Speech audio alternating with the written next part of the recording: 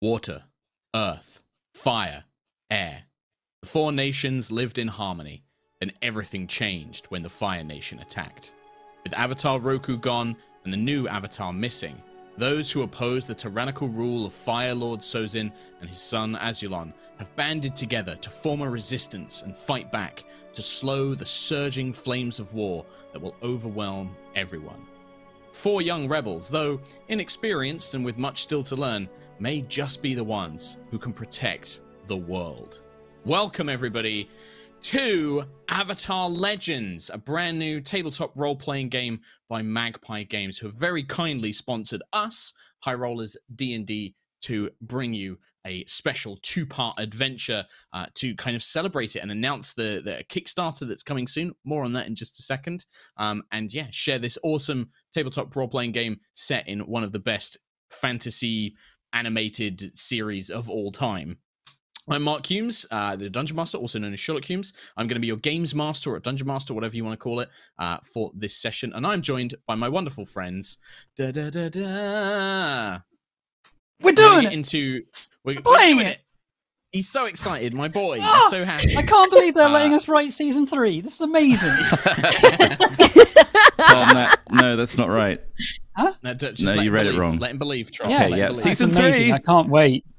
Yeah, Can't yeah, it's the, happening. The animation. I guess get to see Let it. me. Oh, quickly yeah. run through everyone's names. If you are a brand new viewer, maybe you've not watched any High Roller stuff before. Let's be honest, you probably have. Uh, there's most people there. But we have Rhiannon, Tom, Hello. Katie, Trott, and Kim uh, joining us. And yeah, we are the High Rollers D&D crew. We do live D&D here on Twitch and on YouTube podcast as well. Um, and yeah, we've been brought together uh, and, and sponsored by Magpie Games to play Avatar Legends, which we're, as you can see, I see very, very excited about. Um, we're going to go into like all the character stuff and kind of set up the adventure for the game in just a minute. But there is a couple of things I want to talk to you a little bit about Avatar Legends. Uh, Avatar Legends is an officially licensed tabletop role playing game based on the world of Avatar, The Last Airbender, and The Legend of Korra. Players get to create their own elemental bender, weapon specialist, or technologist in any of the five eras. Uh, that if you know your Avatar, you know that uh, there are all these different cool eras that you can go and explore. It's an easy to access custom system created by an award winning designers to help you tell stories in the Avatar verse, uh, even if you are somebody who is not familiar with tabletop role playing games. Uh, and also, this is something from those guys. Uh, as a minority owned company, Magpie Games knows the importance of getting diversity right in RPGs. They brought on Asian American and Indigenous designers as core contributors to the Avatar Legends RPG. Uh, so, you know, the Kickstarter goes live at 10 a.m. Eastern, 3 p.m. UK time on Tuesday, August 3rd. Uh, 3rd. That's next Tuesday, I believe. Uh, check the Kickstarter link and make sure you follow the project to get email updates when it's live. They've already unlocked two pre launch stretch goals a cool dice set and a cloth map, and they're currently working on unlocking a deck of combat cards. Um, but also, and this is probably the most exciting thing, especially with stuff like Kickstarters, right now you can go and download the quick start rules. Um, there's a custom link in chat, in the video description, in the podcast description. You can go and download the quick start rules for the game, which is what we're going to be using to learn how to play and actually sit down and play this game yourself. And you can download those for free. Just have to sign up for the newsletter and stuff like that. So go and check that out. Um, bam. Wonderful. Yip, yip. Oh, yip, yip. There he goes. Where, where have you gone? Um, amazing, amazing. Chris Trott just getting a little bit bored there. Um, No, who else could have done it, Chris Trott? not bored. I'm enhancing. I'm enhancing. Enhance. uh, yeah, so we are going to play this awesome game. So this is obviously very different to Dungeons and Dragons, which a lot of Mhm. you who are watching this probably know us from. You probably play that game. This is a very different system, um, and we have learnt a little bit about it. We've actually sat down with designers, um, Mark from Magpie Games, and we've you know gone through it ourselves. But this is going to be one of our first times really properly playing it in a full session together. So we're going to be learning the game. We're going to be teaching you guys the game as we go. The mechanics and the tone of the game is also very different to D and D. Um, this isn't a case of you know fighting is the solution to everything. The way that skills work, there's a lot more sort of interplayer stuff. And also as a GM, I'm a lot more hands off in this game. I, in fact, one thing, and the players will be excited to hear this. I never roll dice, so you cannot ever blame my luck for your failings now. The day is ours. The day is ours, brothers and sisters. To succeed or fail. Amazing. Okay, perfect. Amazing. All right. Uh, any anything from you guys? Anything you guys want to say? Or anything you know? Any questions before we fully get started? Yeah, Tom does. Yeah, I have quite a few questions actually. Number one, um, when does the animation come through and when do we get to approve it? Number two, when is Yep. it uh, going live? And number three, this is a collaborative storytelling game, correct? It is. Well, uh, was that to the first one? The anim- it is. The answer is yes. The Oh, answer. I'm just gonna say the answer is yes, and then Nice. he can decide what he wants that to be an answer to in his delusion. When's it Um, coming out? Yes. When's it coming out? Yes. cool. Well, let's set some things up. Those of you who uh, know the Avatar universe, this is taking place uh, during the Hundred Year War. And it should be noted as well part of when you sit down to play Avatar Legends, you decide this stuff as a group. So this wasn't me coming up with a story necessarily. This was we, I actually sent around a, a, a, a poll form to everyone, and everyone voted on what they would like it to be. Um, and uh, you pick a time period. In this case, we are playing during the Hundred Year War. So this is the time period before the Avatar: Time the Last Airbender show kicks off. Before Aang is found, this is the war that happens leading up to that moment. So it's very, very exciting. Uh, and we also picked a scope, uh, which is gonna we're gonna be taking our adventure, kind of hopping between a few different locations. We're gonna see a little bit about the world, but it's not the whole world. We're gonna be focused on a couple of smaller locations. Um, and then the, the next thing we had to do is come up with the inciting incident, which is an actual thing that has happened, kind of like a session zero that you might get in other role playing games, where we've set up the kind of situation and the players have already done stuff. We didn't roll dice or anything for it, but stuff has already happened.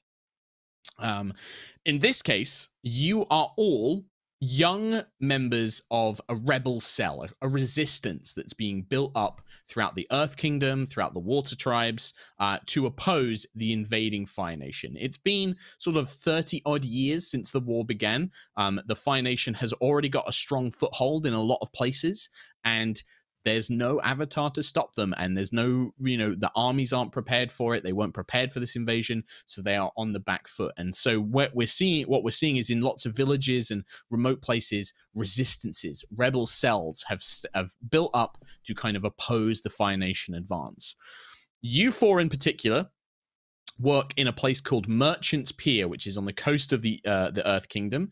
And for whatever reason, however you got there, that's up to you. Um, but you've been working in this place for a while. You have a cell leader called Song, uh, who is kind of your administrator and organizer and things like that. But you guys are the fighters in all this. Like, even though you're young, you are the ones that Song sends out to kind of accomplish missions, disrupt supply chains, uh, rescue prisoners, all of this kind of stuff.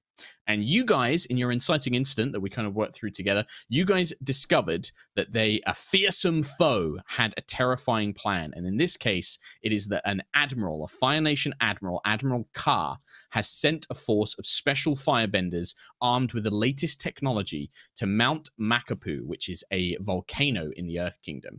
And their goal is to set the volcano off, to cause it to erupt, which will have two two effects. One, it will destroy the villages and Earth uh, Earth Kingdom resistance hideouts in those mountains, and two, it will empower firebenders in the area. It will make their attacking the Earth Kingdom even better as the the radiant heat and all the ash spreads everywhere, making them much more powerful. And you discovered this plot by Admiral Carr, who's known as a kind of cunning tactical genius um, and you decided to do something about it. What you did uh, as part of the inciting incident is you snuck into the Fire Nation docks in Merchant's Pier and you destroyed several of the ships, some of the technology that was going to go to set the volcano off.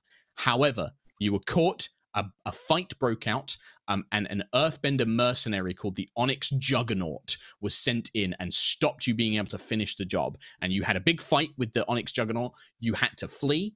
Um, the Onyx Juggernaut is still alive. He's still out there somewhere. Uh, and that is pretty much where our adventure is going to begin. Uh, with you guys, the fire, the explosions coming from the docks, the, the specific Fire Nation docks in Merchant's Pier, kind of light up the night sky around you, right? We see it kind of silhouetted. You guys all hunched together in an alleyway tucked between stores and, and apartment buildings as you see all this like orange glow fill the night sky from the explosions and the fire, you can hear military shouts. You can hear all of this commotion going on around you. It's not just the Fire Nation that's annoyed that their plans have been disrupted, but also the pirates who run Merchants Pier. It's kind of like a black, uh, black market trade hub, um, which is led by a uh, a particularly nasty pirate called uh, Princess Peony.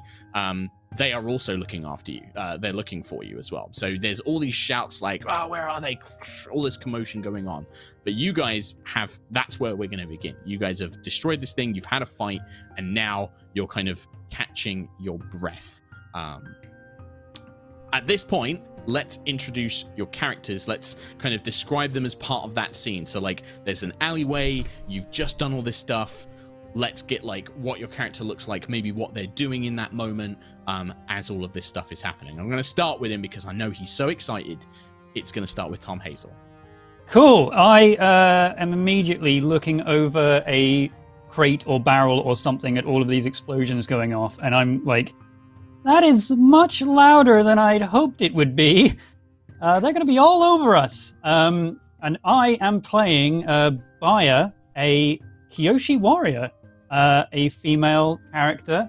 Um, and I have got the white face paint, the red eyes, and the black sort of lipstick and stuff. Uh, I have two fans as a weapon, and I'm kind of looking in awe and also like watching fireworks at these things blowing up in the distance. Um, It's exciting, right? This is, you know, this is an Kinda cool. exciting thing, something you never would have potentially seen on Kyoshi Island. So, yeah, No, exactly. Um, but also, it's much bigger than we'd expected. it was meant to be kind of more silent than this, but they're Okay. going up. Um, okay. and that's kind So of what I'm why? doing. So here's a question for you, Tom. Why is the explosion bigger than you expected? You've you've inserted that detail into this scenario. Is that is that something you did, or is this something that your your firebender companion potentially was involved with? Because I might make this Uh, a I roll was gonna later on in a second. Maybe Could we, I uh, answer this? yeah, if, if, if Like, you want to yeah. jump in on that. Yeah. Or in that Hmm. case, Kim, take it away. Yeah. So um, my character will kind of shrug um, and is watching the show and just reply and say, "Well, you did say you wanted a show, and darling, I had to give you theatrics." Um, I am playing Meili, and she is a firebender, and she is actually um, part of uh, an opera troupe. Uh, a kind of, if you imagine the opera troupes in Avatar are very much based on Chinese opera. Um, and so she is dressed very flamboyantly in uh, red uh, robes with kind of blue trim and um, beautiful kind of designs um, uh, tailored into it and embroidered into it. Um, she's also got a little bit of makeup, not as much as Baya the Kyoshi warrior, kind of that, uh, again, that theatrical opera makeup of like a pale white with um, the pi- heavy pink eyeshadow and then kind of Mm. dark brows and all that. Um, and the two of you um, yeah, is wearing There's a kind of yeah. similar vi- vibe because like the Kyoshi warrior all in this makeup, but then the armor and the fans, but you're more of an actual theatrical kind of Yeah. look to it. And then yeah, we see the yeah, crown as well. It's more cloth. Yeah. Mm. Yeah, and um, I'm wearing a, a headdress, which is um, the traditional kind of uh, crown, the guan uh, crown, um, which Mm. is very um, elaborate, kind of pale blue, um, lots of kind of ornaments, almost like jangling a little bit on it. Mm. Um, and I'd like to say, I'd, I'd like to say that the reason Meili on a kind of uh, what should be maybe a, a, a stealth operation is wearing this elaborate outfit is because perhaps we used a bit of um, theatrics to get in. Like maybe Meili was performing to distract guards, Sure. um, and then Yeah. used her firebending to blow up, you know, some of these firework Mhm. barrels and set off the explosions. Because you know, Yeah. you wanted a show, I- you got a show. Exactly. I think that Meili would have, um, you know, knowing being a fire citizen yourself, and you are, you know, you are right, you are rebelling against your own nation here at this point. But you know that their ships um, have lots of fuel storages like coal, but also if they're transporting these explosives to this volcano, then yeah, it just needed a spark to kind of set them off early, and, and that's kind of caused this. Um, we're going to come back to you guys because we're going to have some rolls because I kind of want to use this as an opportunity to test out the system in just a minute, but I want to finish introducing everybody first. Sure, So we yeah. see May- Meili kind of responding to to Baya's, Baya's looking over the crates, kind of maybe peering over a roof, right? Like Baya's kind of climbed up and is looking over to kind of check and see what's happening. Who what who who's next? Who wants to kind of go follow up follow this up after Meili's kind of uh you know well you wanted theatrics. All right, Reng. Reng is a relatively simple clothed uh, male, young. Uh, he's got tied back dark brown hair with shaved sides and emerald green eyes. And he's just very youthful, very athletic looking. He's got cut off sleeves, and you can kind of see a bit of definition in his arms. He's holding a Mhm. big spear. Um, Okay. and he is hovering around Baya because he's from Kyoshi. He's Baya's best friend. He's not a Kyoshi warrior, but he's from the same area and they've grown up together. And he is pacing back and forth, looking at the explosion, turning around, walking back, making noises like, nah, this is a terrible idea. I don't know why we're here, Baya. We should go home. Uh, I told you we shouldn't have got into the, any of this mess. we try and help people, and this is what happens. Okay. And that's what I'm doing. Interesting. Okay, so with Reng then, so as part of this operation to sneak into these docks and to destroy these explosives and this technology and, and things like that, and then you had this big fight. What what would you think Reng would have been doing as part of that? Because it's clear that Reng doesn't want to be here. Would Reng just have been protecting Baya like in the fight, or or would would you is there some sort of like element that you think Reng would have contributed to this this stealth mission, this this uh, disruptive, this sabotage? Well, he's military trained, so Okay. much like not to the level of a Kyoshi warrior. However, he's he's trained from the same warrior, area. Um, he would be playing defensively, making sure Baya is safe and defending the interests of everyone around. You know, deflecting stuff, not Sure. being aggressive. Maybe like keeping a lookout then, like as they're sneaking onto the ships, like your job was to kind of keep a lookout and then if something went bad, come in and warn them or something like that, maybe. As, and then and then when the fight kicked off, you were going into defensive mode then at that point. Cool. On right. your character sheet, you can choose some demeanors by Mm. default. I'm sure you can add your own, but I've picked suspicious and cautious. That's very much what I am. And that will come in with some of your special moves that you can do later, I believe, as well. All very built around that. Um, cool. So we've kind of got these two clear, like military trained sabotages. We have this thespian. Whilst Reng is pacing and- and worrying about all of that, um, there's two more figures. Should we do? Who wants to go first, Katie or Rhi? Who wants to go? I can go next. I don't mind.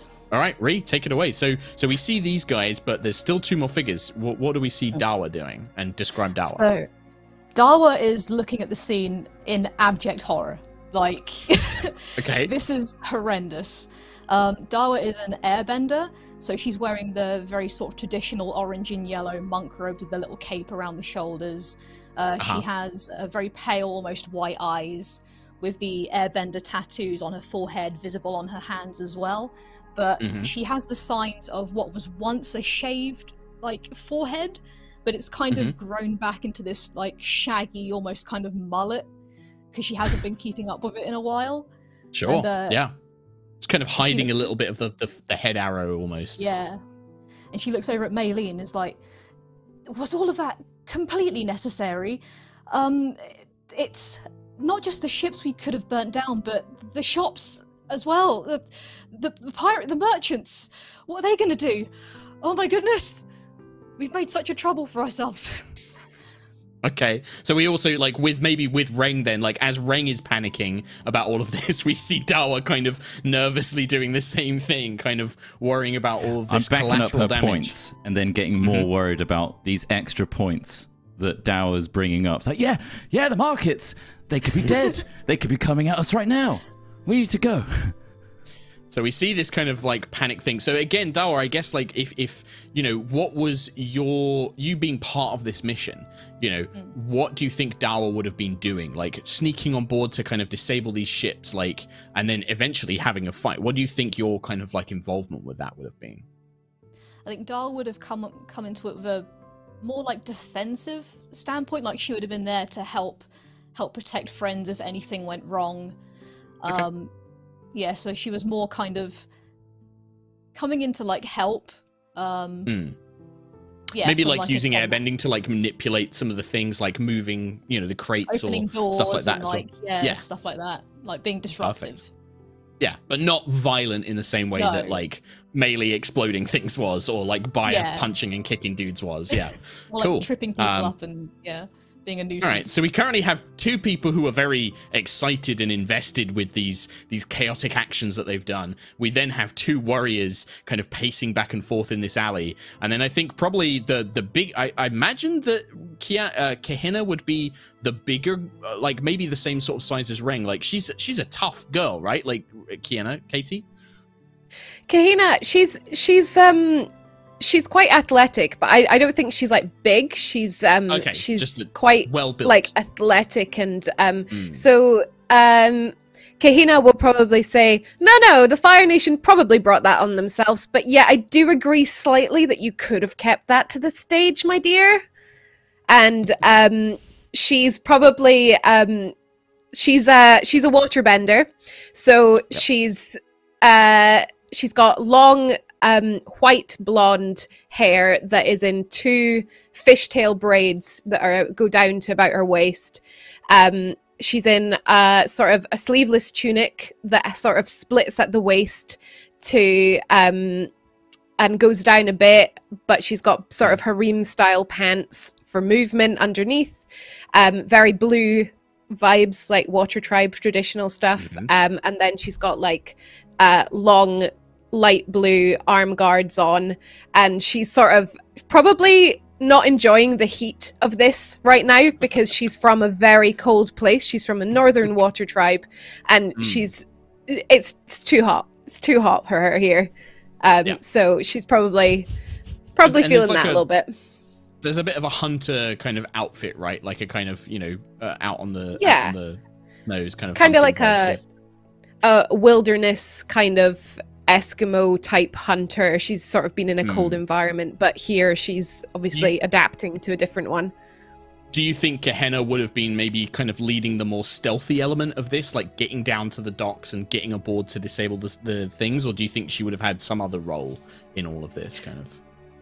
I think she probably would have tried to approach it in a more stealthy way, given that she usually uses ice a lot. Like Hmm. she'll freeze water and Mhm. um, throw like spears of it and arrows out of water and ice, and the that's a lot quieter and and a stealthier approach to to this one. So yeah, You could have almost, I can almost see Kehinna giving like a way up onto the ships by going down to the water and you like freezing a path so that, you know, the, the, the guys could sneak underneath the boats and then climb up on top, right? You know, doing something like that to help them kind of get around. Cool.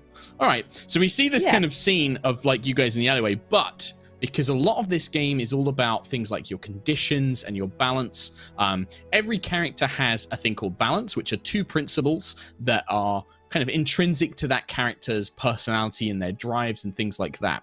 And in Avatar The Legends, you can shift to one way or the other way. And if you get too far to one particular value, that can cause you to you know have an outburst or, or act out or you know become overwhelmed um, you also have conditions which can influence the way that you might get modifiers and benefits to future rolls. Um, and to kind of show off how the rolls work, what I think I want to do is just go around and, as part of a kind of almost not flashback, but what you guys were doing to disable these ships and destroy this technology and then fight uh, to escape away, I kind of want everybody to just do a basic, uh, just kind of uh, do a basic roll, and then we're going to see where that kind of leads to, right? so it doesn't really like the successes and and things like that we already know what's going to happen. We already know that you guys managed to get away managed to get hidden. We know you managed to destroy the boats. But this is like a cool way to kind of see how the dice rolling works and maybe also generate some interesting conditions that maybe have left you guys in, in a bit of a state. Um so uh, we mentioned uh, with uh, Meili, you were thinking of, of doing um, some theatrics and things to kind of get in, right? That was kind of you were thinking that maybe that was something you did to kind of get to the docks and get aboard the ships, um, right? So I think Yeah, that would be there is a move attention called to me.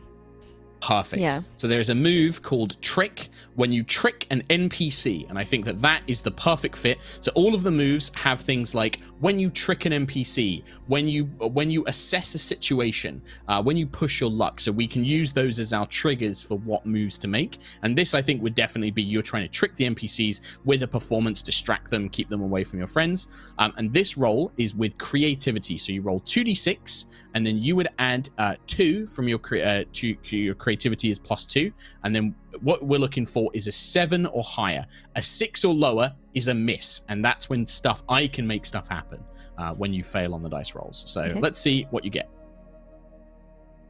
Um, so I rolled a four, uh, and then Plus did you say two. with creativity? Yep. Uh, if it's with creativity, that's a six exactly. That's a six, which is technically a failure. Uh, so this is where I, as the GM, I can do something. That, they call it GM moves in this system, but it's basically my opportunity to add a complication, to cause you, you know, to be tired or cause a condition or shift your balance, um, and that sort of thing. And I think in this one, I think it's you know you go out to do this this wonderful performance and everything like that, but I think that in the act of it, a lot of these Fire Nation soldiers just aren't interested. They've never heard of you. They're not that particularly interested in what you're doing, and that stings, right? As a performer, you you'd be a little Yeah. insulted. Um, so I think like Yeah. I'd like you to mark the insecure condition uh, as that kind of wounds your Yeah. pride a little bit. You still manage to distract them enough that your allies can do what they want. I'm going to give you what you were seeking to do, but the experience, the failure, leaves you with this kind of stinging insecurity of like, oh, oh, if I'd been more famous or if I'd been better, they would have th- they would have noticed me and they they wouldn't have um they would have been more interested, right? Uh, Oof, so who yeah, else had an rough. idea of like something that they were doing? Go on. Yeah. I mean, I'm glad you Uh, I got it because it shows that we can show how the system works. I think um, just to have a roll, maybe there was a soldier guarding the room itself that we were trying to Mm-hmm. set off all these fireworks and whatever else is in this room that we were trying to set off. So Mhm. maybe I try and do like some kind of stealthy takedown on this guy uh, to get into the room and take him out of the way. Um, You're you've got military as one of your backgrounds, right? You your background you have military. What are your backgrounds Yes. again? uh, yeah, I've got uh, literally just military as the uh, background. Um, Well, I think I think for a Kyoshi warrior, a kind of martial arts takedown of a guard would be when you rely on your skills and training. That's 100% in a Kyoshi warrior's wheelhouse. I think that that for you is definitely that. Um, so when you rely on your skills and training to overcome an obstacle, exactly what it is, gain new insight or perform a familiar custom, roll with focus. So you're going to roll 2d6, Tom, and you're going to add your focus stat. Uh, oh, nice. Another plus two. Let's see what I get. Five with plus two, seven. is it so that is a success but in this a Oh. 7 to 9 is what we call a success with cost if you get a 10 a 10 or higher you get everything you want and maybe more with a 7 to 9 you do it but there's normally something with it as well. In this case it says on a hit you do the task so you knock out this guard but uh, you do it imperfectly. The GM tells you how your approach might lead to unexpected consequences. Accept those consequences or mark one fatigue. So I think with Okay. this is you manage to knock out the guard, um, but you do it much loud, much much more loudly than you anticipated. And this is potentially this would have caused like a, a, you know a, a reinforcements or something to go with that. Would you think that you would have allowed that to happen, or would you have marked off a fatigue as you kind of used an extra bit of force to like silence him or something like that? I think uh, I like that being the the action that accelerated our plans and potentially Accelerates led everything. to it. Yeah, Sure, uh, yeah, potentially I led love to the that. explosion being way bigger than it's meant to be. We had to then like, okay, they've heard us. We need to get out of here. And um, Okay. I'll, yeah, I'll take that consequence. Yeah. Okay, yeah. So so that is basically uh, what kind of led on to everything else. Um, and I think that for you, Mr. Icon, um, I'm actually gonna. That's I think that's kind of shifting more because your role is to be like a protector and things like that, right? Like, Um, yeah, well, uh, kind of on the line between you know being a Kyoshi warrior or forsaking Kyoshi wisdom and ideals. Uh, yeah, as an icon, yeah. So, I mean, How does that? How does that affect me? Well, that's what I'm trying to think. I'm trying to decide because we've already marked insecure for Meili. I don't want to necessarily do that again. Maybe foolish. Maybe that you're foolish. Yeah. Yeah, I think that that works. Like you've done this, you've made this noise, and it's that cringing, like, ah, no, I'm like an idiot. I shouldn't have done that. You know. it Should have been so much easier than it was, and I somehow messed Yeah. it up. Yeah, I like that. Cool. All right. So you can mark foolish then for me, please. It's in condition. Okay. So you know, sneaking in, Meili's got you guys all in. Um, Baya's kind of caused this uproar of thing. Uh, at this point, you know, you've you've set off fireworks. Meili's caused flame to ignite all these explosives. You're rushing out of these ships and dockyards. Uh, what do you got? So who does anybody else have an idea of what they might be doing? Like in that escape or in the fight that follows it? This is all like in the past as well, so it doesn't. It's not going to affect anything too much going forward. So, Go on, uh, Reng. I have a thing as my role, the Guardian, where I Uh-huh. do a roll before the session. And I feel Oh, like this right, ties yes. in nicely with the events that have happened here as to how my ward is doing and how my connection with this ward is going. So maybe I should do that role Let's do that. Yeah, publicly.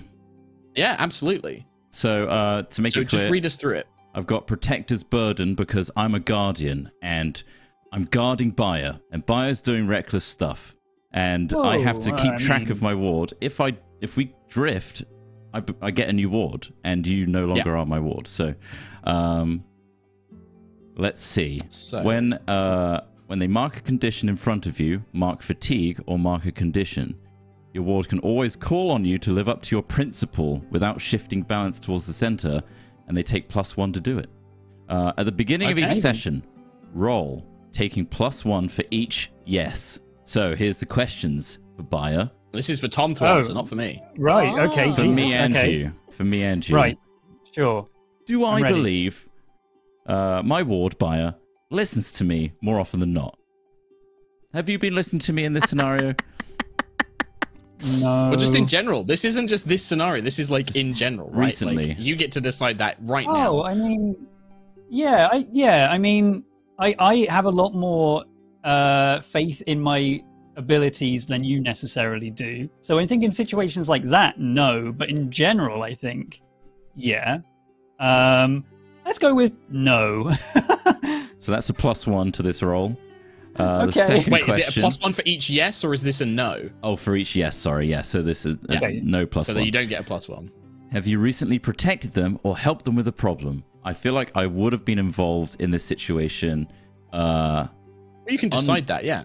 unwillingly, but I see the greater threat at hand and I need to help with this and not Yeah. be a hindrance saying like we shouldn't be doing this. We just need to get get it done. like you are, it- like you are it- now. yeah. Yeah, it could be something as simple as like you know guards were kind of chasing after you as you fled these boats, and you saved by a by like knocking one of them off the ship or something like that, right? You did something you know cool to Yeah, to trip them up with my my spear. Spear. Um, yeah, sounds cool. So that's that's a plus one. And then finally, the question is: Is there an immediate threat to your ward that you're aware of? Yeah. So that's that's a Okay. plus two in total to this roll. So here we so go. So is it a seven that you need for every check, or does does that change? Let's see. Uh, so on this one, yeah, it's on a seven to nine. Um, Trott gets one thing. On a ten plus, he gets two things. well, it's nine.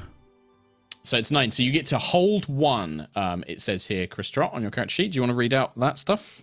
Yeah. So I basically get to hold one, and then I get to use this one um, in this session. So I can take a ten plus on any move to defend or protect you, Baya. Um, I can Awesome. track you down, even if you're hidden or trying to avoid me. Sorry. Okay. Or all right. I could figure out what you're up to without you even knowing. So and and these are things you can just use at just- any point during I the just session. spend And it. he gets to spend them when he wants. Yeah. and I and I get that from you. Wow. All right. Yeah. So make a note of that. Um, but the other thing for you, Reng, is it does say as well when you when your ward marks a condition in front of you, mark fatigue or mark a condition. So for you, when because you've seen Baya fail at this, right. you know, sneak attack, um, and is now feeling pretty foolish. So for you, you get to mark and you get to pick because it doesn't say I. In, it, this is like your choice here, which condition you think applies, or you can mark fatigue, which is kind of like not really hit points it's more like your energy your stress um, but if it maxes out and you you start taking more conditions you could be completely knocked out of a scene I'm afraid. I was gonna say, make sure you, make sure we can still see it. I panicked so much I scribbled. And that maybe is why you're you're acting the way you are in, in the moment, right? In the present is like you're freaking afraid out now, because you saw Baya fail, and Baya's like this amazing warrior that you've you've known all your life, and if they can fail, oh god, what what, what does that mean? Uh, There's know, only two of us kind here.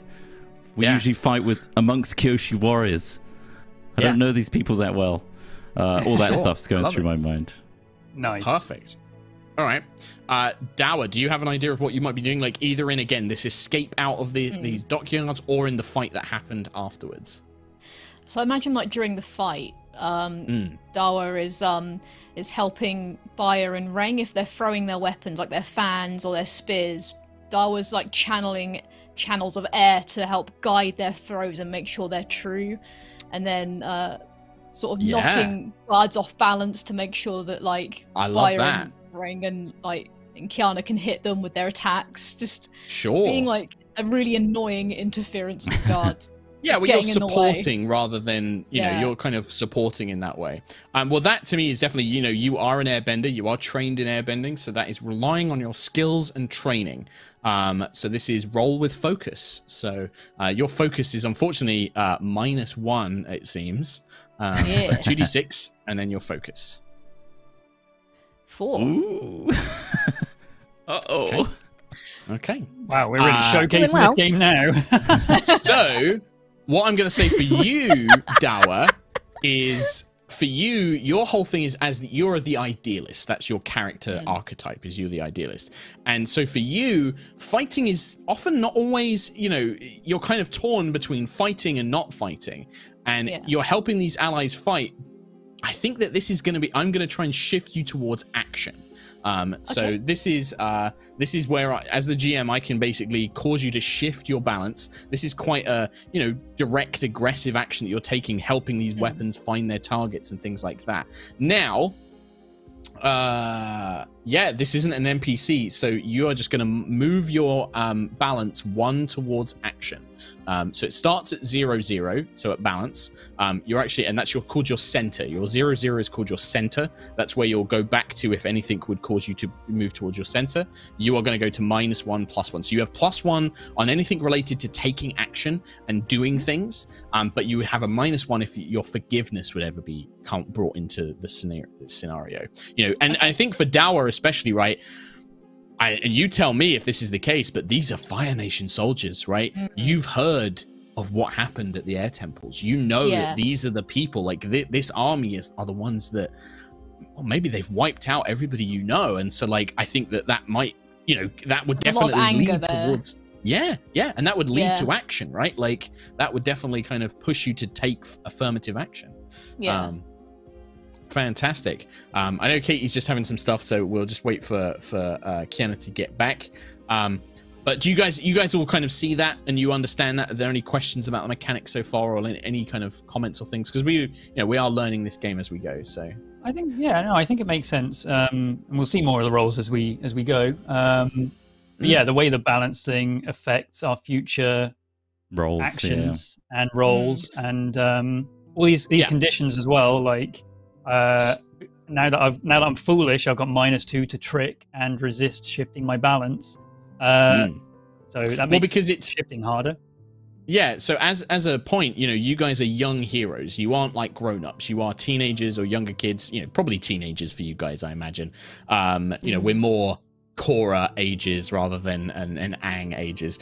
Um, but so that means that feeling foolish, like it means that you're more viable to listen to adults when they tell you stuff, and that's especially the case with balance. Um, so with balance, not only can you know I kind of enforce balance shifts on you when you fail rolls, but also NPCs might try and say, "Hey, aren't don't you think that you're you're being you know too aggressive, or don't you think you should you know not worry about forgiveness? You should be taking revenge and stuff like that." And when you feel foolish, you're more likely to listen to them, right? Because you're like, "Oh yeah, no, I'm silly. I should listen to this. What this grown up's telling me."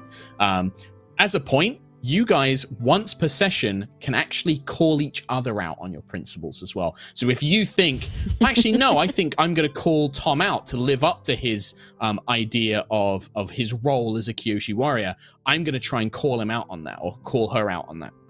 but you can So- only do that once per session each. Um, So each other. player-wise, w- d- Mm. are we all actively aware of everyone else's character sheets? Like we can see what everyone has at any one time, or are I would say that you can you can be aware of like everything that we can see for sure, like the balance, the the conditions. You are all friends, you know. Even if you've only just met, you are all like a group of friends together. You can tell when somebody's feeling angry. You can tell when Yeah, yeah, somebody's okay. feeling insecure because there are moves that you can do to specifically comfort and heal those things, right? right. Um, so it's not let's like just go. D and D where the HP is hidden, but you kind No, of know it. It's yeah. not, yeah. Um, in this, you especially the balance. You guys are allowed to know those two things, especially. Right, Um, okay. Katie, we were just talking about the kind of cool stuff that was happening Mm-hmm. on, and we've got um, uh, Dawa. Rihanna was saying that when they were fighting, she was using her air Mm-hmm. powers to try and help everybody's weapons um, and trying to help them find their targets. Um, and I think for Kiena, especially, because this is very relevant to your character, you know, this figure that comes out of these flaming ships and explosions is this black rock covered, like wearing black rock armor, uh, almost like Darth Vader coming out of the flames, uh, is this giant Oh, no. mercenary, this earthbender mercenary. And it's somebody that Kiena knows. This is somebody that Kiena specifically uh, knows. This is Kiena. Um, Ki- Kahina. Kahina. Kahina. Hina. It's like the Kahina. Quilek quill thing. Keelek Kahina. Quilek. Yeah, I know. Kahina. This is the Onyx Juggernaut. This is somebody that you have as uh, you're the hammer, and you actually have the Onyx Juggernaut as your adversary. Um, Yep. So I imagine I've got an idea of what maybe you were doing during this fight, but you tell me what you think you were doing. She's probably quite focused on him. Let's be honest. She wants to just take Yeah. him out. I mean, like he he um attacked her village, so Mm. yeah, he he attacked her So tribe. are you just outright attacking? Would you have just outright been attacking at this point, or would you have been trying to like force him to like back off or like give up, or was this just like trying to fight as best you can using your using your water bending in a in a way? I think she's while she's very angry at him, she's also smart enough to know that he's a very strong warrior. So she's Mhm. probably trying to push him back initially, like um Just hold him to off. get him to keep him away from her friends. Um Sure. like because she knows yeah what he's capable of. So okay. maybe a little bit of that to start with, just to test Yeah. the waters. waters. So like maybe yeah, Um, like throwing your ice spears to try and freeze the ground or like you know, Yeah, freezing yeah. in place that kind of thing. Cool. I think that Quite again that's going to be another rely. Yeah, I think that's going to Yeah. be another rely on your skills and training. So this is with focus, two d six plus your focus.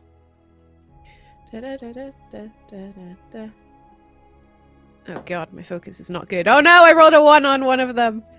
Uh, it's okay because when this is real fighting, you get to roll with something else. That's okay because again, this is just to represent stuff that happened in the background. If this was a real fight, there's a whole different way of doing it.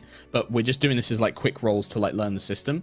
Um, so yeah, this is again, it's the same. This is this is a miss. So you're trying desperately to hold this guy off, throwing your ice spears, kind of causing these like patches of frozen ground, and he just with one foot slams it down. It cracks all the ice. It breaks apart, and he just keeps coming. And no matter what you throw at this guy, they just keep coming and keep coming and keep coming.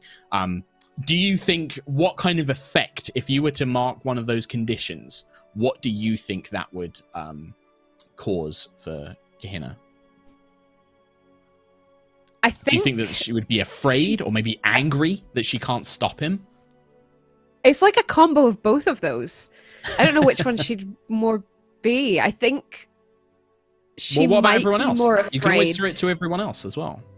I feel like she might be Sure. more afraid at the moment because she feels like this is the thing that she's come to do. She's come to take him She out, can't stop and him. she she can't she can't do it, and that's Sure. letting down her tribe. So she's Sure. probably getting a bit afraid that she's not capable. I love it. Mark afraid then for me, please. So that's that's the very basics of how the moves work, right? You describe a thing that you want to do. I find a move that fits, and then we roll, and then there's an effect, either a good, a bad, or a very, very good. Um, And that's pretty much how it works. And then these conditions and your balance will get moved and shifted around and stuff like that. There is also fatigue, which again is like your energy and, and stuff like that. And you can normally spend fatigue to either activate things, to resist things, or I might just say, hey, take a fatigue because this this failure means that you're getting tired, right? So we cut Okay. back to the present. That was all the stuff that happened in in the sort of uh, the flashback, as it were. Um, we cut to the present. You guys are crouched in this alleyway. Fires, explosions, shouts, cries going off behind you in Merchant's Pier, this black market, you know, dodgy town. Um, I will tell you this. Uh, the your kind of objective is what you should be doing uh, keeping in mind you know that these ships with the firebenders and the, and the bombs are going to this volcano and if you don't stop them nobody else will there's no military here there are no soldiers for you to turn to it's up to you guys to stop that but you should probably go and check in with your um, cell leader uh, song and they operate in a safe house uh, out of the sunset room. Uh, is it called the sunset room? I did. I put my notes down here somewhere. Uh, oh God, where did I actually put it? Um, yeah, the Sunset House tea tea room um, is like a safe house for you. That's where Song operates from, and Song's like an organizer and an administrator. Um, but you're going to need to get there in a city that is hostile, city that is looking for you. Um, so I hand it over to you guys. What would you So- like to do? So I think because uh, Reng and Dawa are both basically panicking in this situation as a result of this, I'm going to go Mhm. up to Reng, hands on either side of his face, and kind of smush a little bit. You know why we're here. You know what we did. We had to do that to protect this island from the Fire Nation. Dawa, and I'm going to squeeze your face too, uh, separately. now we all need to calm down and get back to Song, okay? You know where she is. We just need to get there stealthily. And then I'm going to smush both your faces together. So calm down and we'll get through this, all right? Song. That was gonna take. That was gonna take a deep breath in and st- like just start moving like crates and stuff towards them because she's breathing They so kind of suck heavily. towards you. now, before you guys decide how you react to this, this is a move. Tom, what Tom's trying to do here is comfort or support another person. Um, Oh, So you're actually going to have to pick one of them, Tom, um, Okay. and you're going to roll with harmony on this. uh, pick one. In that case, I will go with, um, I'll go with Reng. I want to calm Reng down. Uh, And with Harmony, I've got a plus one, so 2d6 plus one. Plus one. Oh, five.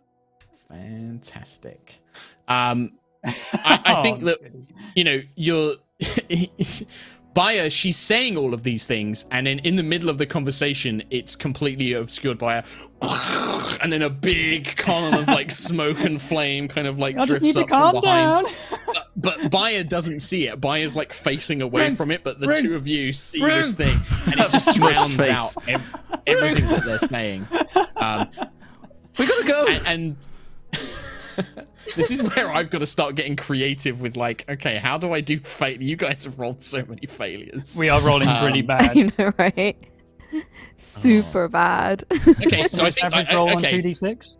No, so what I think, because again, this is like, I don't always want to just do conditions and damage. So as you're saying this, like, Baya, you're taking time to try and calm them down.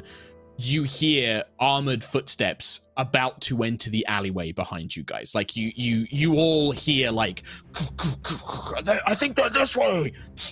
Like you don't have time to sit here anymore. You got to do I like- something. Turn their faces towards the noise and I'm next to it. and then yeah so like somebody needs to act here somebody needs to get you out of this alleyway and, and get moving who wants to do what, what does that look like who's doing stuff Um. So I, I would say that Meili's been enjoying the fire, watching the fire. Kind of like I feel like uh, Meili and Kehinna are kind of like Katie and me in real life, in that she hates the heat, I hate the cold. so I've just been Yep. back. Well, well, Kehinna's been kind of hating the heat from the flames. sweating Uh, Meili's been kind of like, yeah, yeah, yeah. Um, but yeah, I'm just gonna turn and look at them and be like, now listen, lovelies. Uh, I think the show is over. We have some rather angry uh, extras coming our way. So maybe you want to go that way down the alleyway, exit stage left, pursued by a bear, and I'm going to hold them back a little bit with a little diversion. Um, and I'm going to start kind of, uh, flames start kind of sparking in my hands um, Okay. as I try and draw from the explosion and create like a, a firewall or something like that just to hold um, hold the the soldiers back. Now I'm wondering if this would um, come under my move. Here's the plan, which is when you Okay, work on a, you out- uh, bleh. when you work out uh, when you work out a plan with someone, roll with creativity, and then there's a couple of things. Um, like I can aid someone, call out a warning or command to reduce fatigue, or I can rally people with invigorating words negating a condition. Um, but I, I don't know because Okay. it says like when you work out a plan with someone, and I'm kind of just talking to myself right now. So I- I to think everyone, it's- right? You're talking to everyone. I, I think this is less of a Hmm. Yeah. plan and more you just taking More. bold action. Um, now, Okay. what I was trying to figure with this was, um, so, and again, you know, I'm, we're, we're still learning the game, including me. You, you know, you're a performer. You use firebending. You know how to use firebending, but it's a big wall of fire. Is that? Do you think that that's like a skill or your training, or do you think that this is mainly pushing like the limits of her powers? Like, you tell me. Like, is this like something you think that she would be trained to do, or is this you trying to improvise with your own firebending? So, bearing in mind that we are teenagers, so quite young in our training, we're not, you know, um, you know, big Hmm. not badass final form cells. Mm. I would say that Meili's training mostly comes from performing in the opera, so it's things Hmm. to kind of enhance the performance. So I would say that creating a wall of fire to block the alleyway is probably um, pushing uh, my limits. Yeah, I think that this is a push your luck then, right? So like Meili's abilities are much more precise because you have to be careful of harming the audience. You have to be aware Yeah. of like using your power. So I can almost imagine more graceful, perfected moves. This is just big out of flame, block the alleyway. You know, and these are firebenders as well. I think this is going to be pushing your luck. so when you push your luck in a Yeah. risky situation, say what you want to do and roll with passion. Um, so this is going to be with passion for you, uh, bold. Okay, so 2d6. Uh, oh, oh, oh! I rolled two sixes! So here we go. Nice. Minus one for passion for Meili, so that is an 11. It's an 11, but it's still 10 or higher. So there's no critical hits. Like a 12 is a 10, 11, and a 12 are the exact same result, right? Um, and it's also this is kind of good. It was push your luck because Meili's currently quite insecure. Like you're worried about your training, like you couldn't pull it off earlier. So this is like almost a bit of an improv, like risky plan. Um, so on a push your luck, on a 10 plus, your boldness pays off despite the cost. The DM tells you what other lucky opportunity falls into your lap.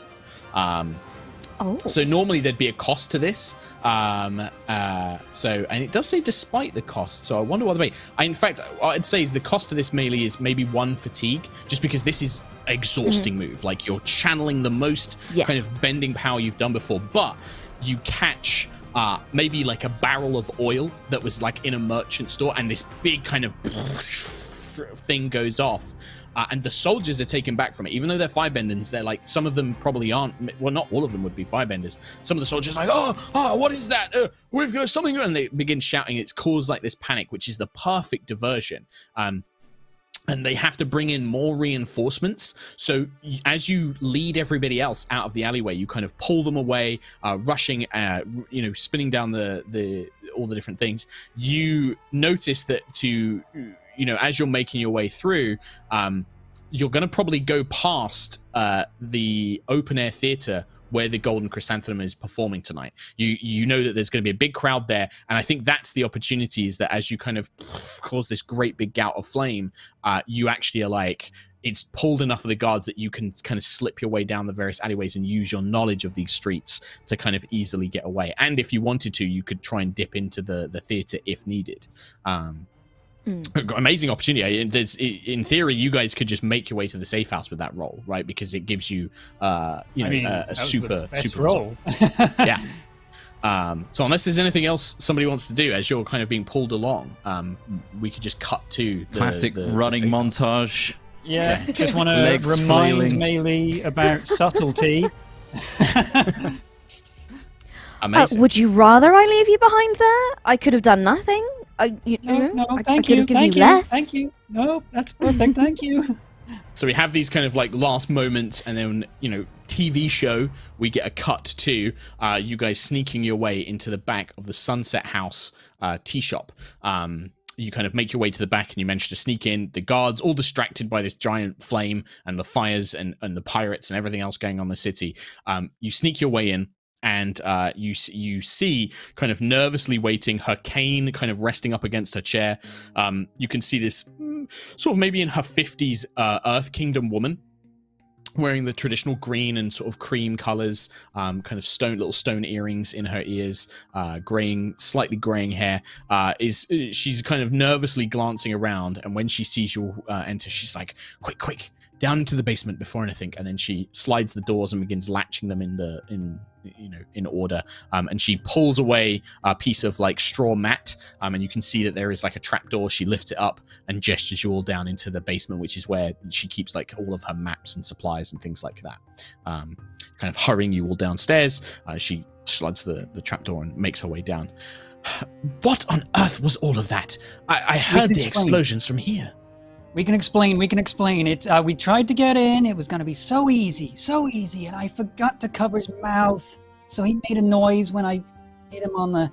Anyway, we had to accelerate the plans, and Meili kind of put a little bit too much into it. You know what I mean? And and then big explosions. Everyone heard us, and we had to get out of there fast. I'm sorry. Everyone heard us. Oh, they all heard us. They probably Yes, followed us here. All, they did all hear you, Reng. I, we should be safe here. But this is going to complicate things. Did you did did you manage to destroy all of the ships? Did did did Admiral did any of Admiral Carr's forces get away? Oh, I mean, we One- got four. One got away. There were five. They'll still be making they'll still be making their way to the volcano. The the gates are locked down. Uh, The soldiers I, I went and checked them earlier. One of the, a captain under Admiral Carr is watching over the main gates. The pirate queen has got all of her gangsters everywhere running around checking all the exits. You're going to have a hard time getting out of the city now, but if one of them got away, we I hate to ask this of you, but you must go to the, the volcano. You must stop them. If they if they can erupt this volcano, it will cause untold devastation. Volcano. That was hot enough. What Meili did just back there. We're gonna go to the really hot volcano. Yeah, I don't like that idea. Kehinna is um just got some ice on her hands and she's just holding it up to her forehead to try and cool herself down because she's like, ugh. Well, there is no one else, Reng. I'm sorry, but uh, there's no soldiers here. Merchants Pier, you've seen what it is. It's a pirate's town. We're the only ones who can stop the Fire Nation here. And I'm no good. And she kind of picks up her cane and, and gestures at like her bad leg. I can't do it. I have to trust all of you to do this. Ah. Fire. What? What? What do you think? I mean, I think we're going to a volcano. Ah. He just storms about. But we have to. I- i- If the Fire Nation are going to go up there and empower themselves, and, and they're going to destroy this entire place, we have to. Take a moment. You need whatever just happened out there. I'm sure it was quite. Uh, it was a lot. Take a moment. You're going to need to. You'll probably want to grab some supplies before you leave, or you could just try and get out as quickly as possible. There's um, and she begins pulling out maps. Um, she begins pulling out maps and rolls it out. Mount Makapu, Mount Makapu is here, uh, and if you follow the coast, uh, there's a small vish- fishing town not too far away from Merchants Pier, just before the river. Uh, it's called Harbour Town. You may be able to pick up some supplies there, but it's still a, at least a day or so's travel. You may want to grab some things before you leave. Uh, cross the river. There's a mountain pass, and then when you get into the mountains, uh, there's a hidden village, Makapu Village. It's hidden. Many other resistance members uh, operate out of there. If you can reach that, they'll be able to help you getting up to the volcano, and they might even be able to help provide you with some some other fighters, some soldiers that may be able to help you. Um, but you need to reach the village. At least let them know what the Fire Nation is planning. Uh, you, they don't know what's coming. You're the only ones who can do this. There's also also one only one ship going that way. We took down four. Apparently, there was five. We took down four, so there's not going to be that many there. Hopefully, maybe there might be It's some, not but really about who it's it's who's on that ship. Think about it. The Iron Juggernaut's still there. He is is very powerful. But I I need to practice. I need to make my skills better. I couldn't touch him. But I have to I have to take him out. I can't let him destroy another village. It's just not an option. Then we'll take him out together. We can't let the Fire Nation destroy another settlement. And uh, as much as I do love the idea of being powered up by the uh, powers of the volcano, it probably is best if we don't have hundreds of Fire Nation soldiers beefed up on all that liquid hot magma. Uh, Reng casts a suspicious glare towards Meili at the like he's just put those two things together. It's like, wait, Meili does fire stuff. There's a volcano of fire stuff. Fire Nation gets powered up by fire stuff. Are we all being tricked into going along with Meili so she could be powered up by fire stuff? And he's just spiraling in his mind. It's just a doom spiral. Why are you why are you looking at me like that, Reng? No reason. Uh, can I do my move? Suspicious Sure. mind. Sure. this is Chris. So- Chris Trott just wants to use cool things. Sure. You t- tell us what, what how it works. Suspicious mind. When you watch a person carefully to figure them out, roll with focus on a 7 to 9, hold. On a 10 plus, hold 2. And uh, I have to, but you have to answer these questions truthfully, basically, if I get any of these. Um, Mhm. So, uh, my focus right now is plus 1. So, Okay. 86 plus 1.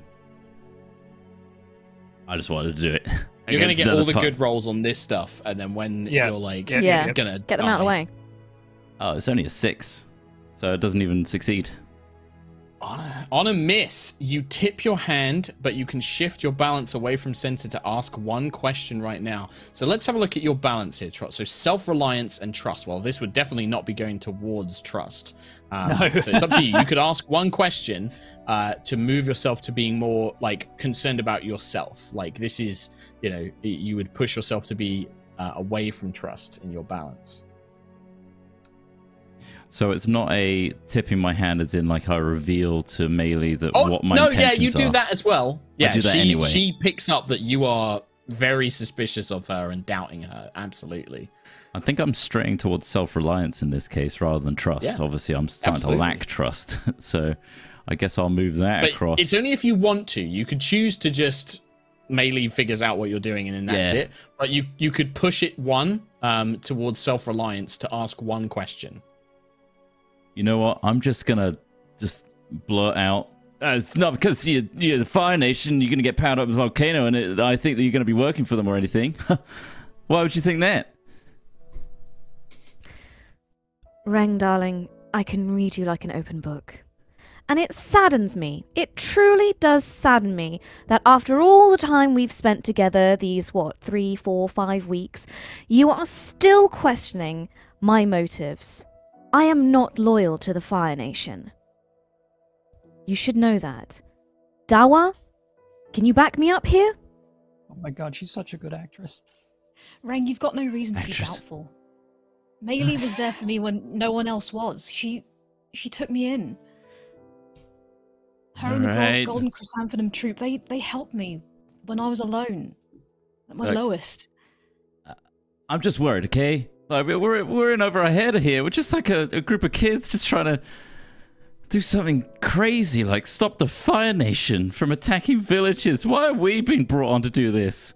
I just want to go home. Because Because if we don't do it, no one else will. we can make a Maybe difference. they should. here. Okay. You're not wrong, Reng. Other people should. But people are scared.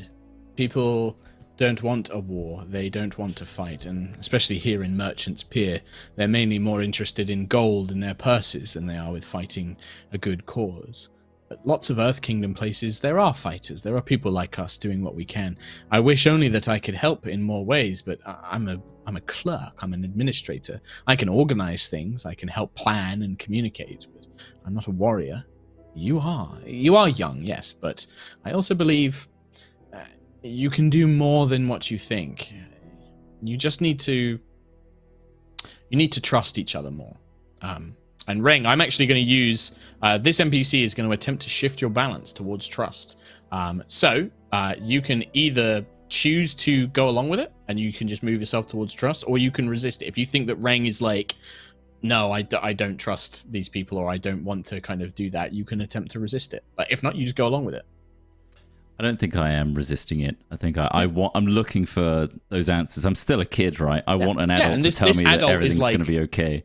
Yeah, yeah. So, So you're going to shift it two. So you're actually going to go two towards trust when an NPC shifts you. oh, so I'm now. I was in the middle. I went back because of trying to out Meili and her intentions, and now I'm plus one Yeah. for trust, minus one for self. Yeah, like Song's seen this like little outburst and is now like, look, you need to trust each other because I can't do this. You need to do this, um, and to do that, you need to trust each other.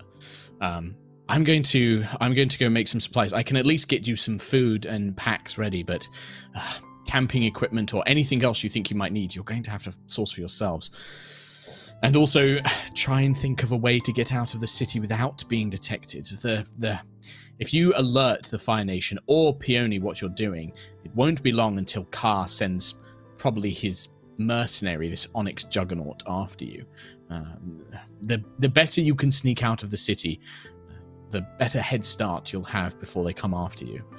I'll be back in a moment. Try to just get some rest, um, come up with a plan, and uh, and then we'll think about getting you out of the city as soon as, soon as possible. Song's going to get up and leave you guys uh, to your own. There are like rooms down here and things like that, like bedrolls, but you probably want to try and get on this as soon as possible. But this is a great moment, like to have conversations amongst yourselves or like come up with plans, whatever you guys want to do, basically. Okay. So how how deep in this? How big is this place we're in the city? Like how? Merchant's Pit. It's not quite a city. It's like a big town. It's got a wall. Right. Okay. Um, so uh, it's actually in the show. It's kind of got like a big long wall that goes around the harbor, and there's a big long harbor. Um, the harbor is where all of the merchants they have like barges and ships with lanterns strung up, all lit up, almost like little streets out on the docks. Um, and they sell everything here. It's a black market town, so they sell illegal things, they sell animals, they sell supplies. Um, it's where Katara buys the water scroll from. I was about to ask. I was about to Yep. ask. Yeah. Mm. Yep. Yeah. Uh, so it's a bit run down. I think that at- in this era, I'm actually going to say it's a little bit more um, put together. There's actual like proper stone buildings. It's not all shacks and things like that. Um, but yeah, it's like a little. It, it's it's a big town with a wall that basically protects it. Um, so y there is a gate. Uh, that means that you're either going to have to sneak over the wall somehow, or you're going to have to sneak through the gate somehow if you want to avoid being detected. Mm, okay. Um, and then it was about a day to the next uh, sort of to fishing Harbour Town, yeah. right? To, to make your way to the mountains, it's going to be like three or four days. Um, so you're going to need some supplies at least, like food and water and, and stuff like that. Um, but there is a town on the way. It's called Harbour Town. Okay. Um, If I may, uh, we could go and return to the Golden Chrysanthemum Troop and ask for some supplies there. Uh, you know my company are in town. be willing to part with supplies, uh, considering who we are and what we've just done. I'm sure they would. You know, it's it's my troop. It's the troop that took Dawa in as well, and I'm sure they wouldn't say no. Mama Hong, you know, she's a fearsome ogre, but she wouldn't let her darlings starve. Would she let me starve? Probably yes. Okay. Supplies for one person acquired. We're making She would, progress. she would, she would definitely agree to Dawa. Look, Dawa can give this little face. It's ever so darling. Go- Go on. th- th- look at that. Look at that. Can you say no to that? You taught me really well. I didn't know how. I, I wasn't very good at that before oh, I met you. yes. okay. you carry it off perfectly, my love. Oh, thank you. I'll do it again. Oh, look, Dad, my Sada- heart is breaking. Someone get this poor orphan child a drink of Ring tea, is please. like holding out food, and he just seems to be like instinctively like, Did you want something, or do you want some food or something? what, what, what is it? you okay? Amazing. I Oh, need to master mwah, crime brava. Q. That's the next one. Where did you Mm, get that yes. food? Because that looks an awful lot like supplies. Huh? It's just like mouth. like it's like a handful of like three day old jerky and nuts. It's just like it's not like actual food. It's garbage. Oh. Hey, this is my Maybe stuff. I brought it all the way from Kyoshi.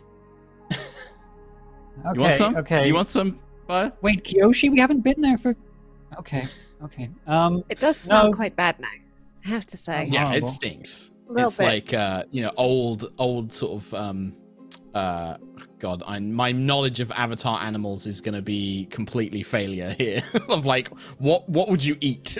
I don't It's know, something. two animals next to each other. Cow, eagle. Cow eagle. Yeah. There you go. Bang. We've made we've made a new one. Cow eagle. Cow eagle jerky. Um, so a couple of things I want to bring up some stuff. So you guys, a couple of you guys have conditions, um, and I want to talk about how you guys can clear those. So conditions obviously give you like minus two is a big deal in this game. Like a minus two means that you know an eight, which would be a success, becomes a failure. Uh, to clear conditions, you've got two options, and also regain fatigue. You can either use the move comfort and support, which is when you take a moment to genuinely try and comfort, support, or help somebody. Uh, you do that move. The other one is, and you'll have this on your actual full character sheets, not the little things that we've got on Roll20, but your full character sheets. It has a whole section called clearing conditions. Um, and each one, there's a different way, like an RP thing you can do to clear it. So, angry, you can break something important or put others in danger. And that will clear anger from yourself, but obviously it creates a scenario in the game that we then kind of play out. Um, afraid, run from danger or difficulty. So you would actually just be like, nope, I'm going to run away. Uh, Did we kind of do that action. already? Huh? Did we kind of do that already? Um, the run from danger or difficulty. I think you were not necessarily running from danger or difficulty, but kind of uh, nav. You were kind of making a tactical with- withdrawal. Escaping. Um, this would be like did. in a sin. It, it's more like this would be in a situation where you could fight. You choose to run away. Okay. Um, Hmm. this was like that was more of a kind of setup for the game. So we'll we'll make this more of a a- an active thing. Um, uh, f- uh, so foolish is take foolhardy action without talking to your companions. So basically, like do something crazy and rush into battle, uh, or or do something reckless. Uh, guilty, make a personal sacrifice to absolve your guilt, or insecure, offer aid or support to someone competent. Um, so those are those are some things to keep in mind. But also, you can comfort each other, and uh, that's also a big one. I like how um, the conditions are specifically tied to specific ways to get rid of that thing and not the other Mm-hmm. Yeah. ones. It's not like a generic clear condition thing. It's like, no, Yeah. in order to get rid of being afraid, you have to run away from danger. Yeah, and like some people, like I know um, Katie's Kehinna, like one of her abilities is that when she fights, like when she turns to fight her adversary, she gets to just clear her conditions and say like, Oh. nope, I'm fighting my bad guy now, That's Cool. cool. and then. So yeah, so there's like the the different types of character. The hammer gets a thing, the you know the icon gets a thing, and, and stuff like that. So it's all kind of a big deal. nice. Um, cool. Well, so at the moment, so yeah, the scenario is you guys are in this safe house. You're safe for now, right? Until you leave this place, you'll you don't have to worry about being caught. I'm going to tell you that now. So this is if you want to make a plan, if you want to decide what you want to do next, or if you want to, you know, try and talk to each other. This is the time to do it. Um, otherwise, we will jump to whatever action you want to take next. Okay. Um, I will start training, ready, because I know we're going on a hike up a mountain, and we've done a lot of hiking from Kyoshi. We've Okay. traveled a variety of different terrain, so I'm just gonna start doing push-ups. And so in uh, this like basement, you just start. Yeah. Rang just starts doing all push-ups. and uh, Okay. I, I might encourage everyone else to do the same. It's like you got to keep limbo. You got to go up mountains. You got to learn to breathe better. Um, we're gonna be losing oxygen as we get higher and higher, and uh, you can stay hydrated as well. We get some water, all that kind of stuff. You know, like military drills. I think yeah, okay. don't worry about oxygen. I've got plenty of it, and I just like blow Yeah. a little like. My hair just like wobbles in the air. Like your face is that thing where like it's like a dog in a uh, leaning out of a car. Yeah. I'm like uh, behind Reng where he can't see me, kind of sat cross-legged on the ground, and I'm like, "Yeah, I'm doing it now. One, two, three. What I'm actually doing is I'm gonna. Can I use the uh, meditation move? And I want the meditative thing to be basically taking off and applying this uh, Kyoshi makeup to be this almost routine thing that I do that becomes so like such a symbol of the Kyoshi warrior thing. Um, Yeah. and my plan is to take the makeup off because yesterday, if I was wearing all this stuff, I kind of want to be less, you know, obvious walking through the town. Um, but as, as a Oh. meditative thing as well, which is a move I can do that gives me focus. Yeah, you can do. Yeah, so uh, I think that's supposed to be permanent, by the way, uh, Tom. You just apply that. You don't have to activate it. I think it's just you increase your focus in general. Um, Ah, okay. In that case, I, I love it. But that's a really cool thing that you've just done, right? That's a really awesome thing. Um, the only thing I'm thinking of is taking off the makeup is kind of a big deal, right? Like that's that's who you are. That's the organization that you're an icon. of. Ah, I think I had a different idea about about the makeup for Kyoshi's in that case. In which case, I'm not doing that. Uh, I, I I feel like I'm further ahead in the series, and I remember the Kyoshi Warriors being 30 years into the Hundred Year War. well, I know that they they do take it off, but what I'm saying is like, and you can do that, but it's just to me that would almost be a little bit of like freedom, right? That's that's leaning away thing, from the role of the Kyoshi warrior and more doing your own independent thing. I don't know. Could I h- uh, could I help a little bit with that? And so Mhm. um, I want to try and clear my insecurity um, condition, and to do that, I must aid or support, co- uh, comfort or support a um, a, a competent, competent. person. And I wonder if, like, perhaps I could produce like um, an opera mask and be like, Mm. You know, if you want to change your appearance, perhaps you could use this instead. Um, Mm. Or I could embellish your makeup to make it look more operatic, and we could say we're part of the troupe. Um, and it, would that? Do you think that would kind of work as a, a comfort or a, Yeah, I um, think so. yeah, I think um, yeah. Tom forgot uh, the significance of the makeup. Um, so I think I would, yeah, I would instead have uh, a disguise, not necessarily an adjustment to the makeup as much as, yeah, maybe just the mask or something to disguise myself better in the street when we do go outside.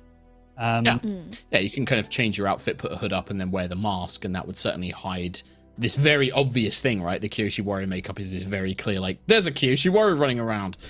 Hang a minute. Uh, Wasn't a Kyoshi warrior blowing up a ship yesterday or like five minutes ago? Yeah, exactly. Yeah. No, I'd say you don't even need to. I, I don't think that that's a role. I think that that is just yeah. You you you can clear that condition. Uh, mainly like that's a, a lovely little moment where like you kind of help out and and share this mask kind of thing. Um, Can I ruin it? cool.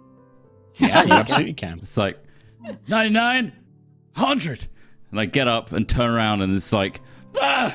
As looking at this operatic face of Baya and being terrified. See, he can't even recognize you. It's not me. I mean, it is me, Reng. It's me under here. Fire. you didn't Disguise. I like me. it. Stealthy. Whoa! I do jump a lot. Um, supplies, supplies. We need supplies. Sure. Uh, and yeah, just for anybody who's listening, like just to if you're not familiar with Avatar, Kyoshi warriors are all feet are is a group of all female warriors from the island of Kyoshi who style themselves on Avatar Kyoshi, who's one of the former avatars, and they wear kind of uh, almost geisha like kind of like white full white face paint with like red um like eye makeup and it, it's got a very distinct visual look to it um and it's like very you know operatic very much like Meili's operatic kind of makeup but it's very specific to the Kyoshi warriors and the island of Kyoshi and Avatar Kyoshi, of whom they take their name, who they look up to. Uh, cool. Yes. All right. Well, unless there's anything else, uh, what's what's the plan for getting out of this city then? What's what's the plan? Are you going to head to the Golden Chrysanthemum? Are you just going to sneak your way out?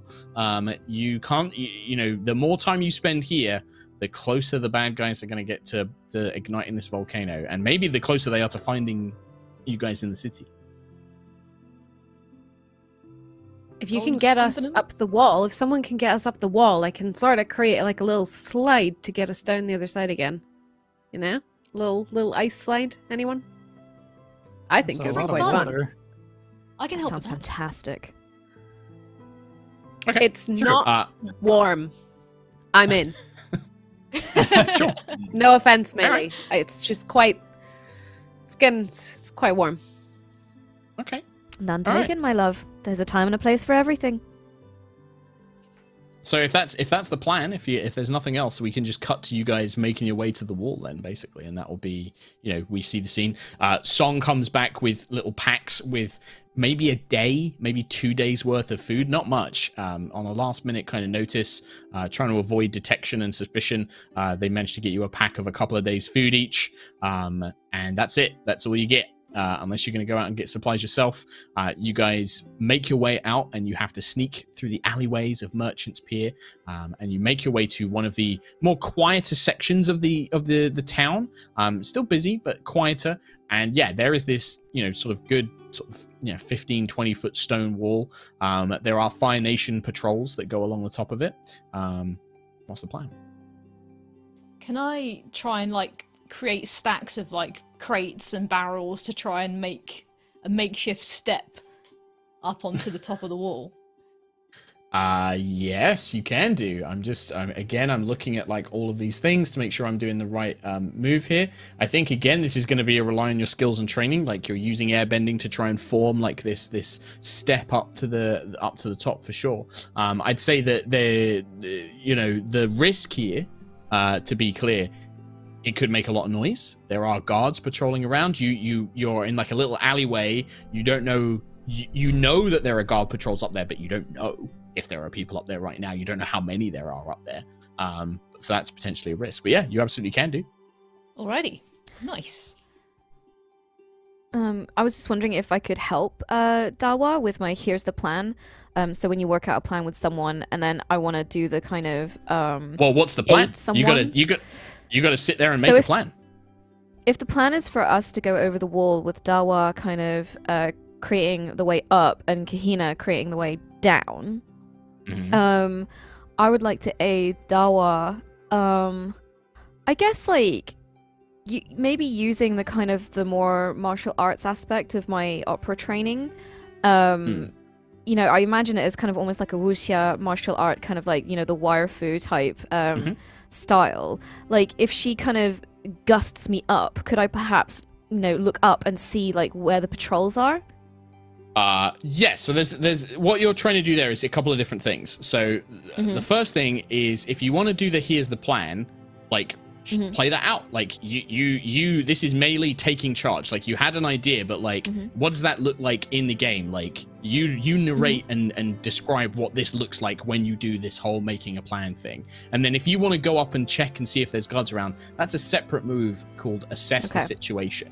Um, but you could do both. It's just Hmm. I want to see that in the game. I want to see that Mm. in play, not Okay. just I want to use my ability. It's like, what does that look like? So I'll do the here's the plan um, bit and, and just up to that bit.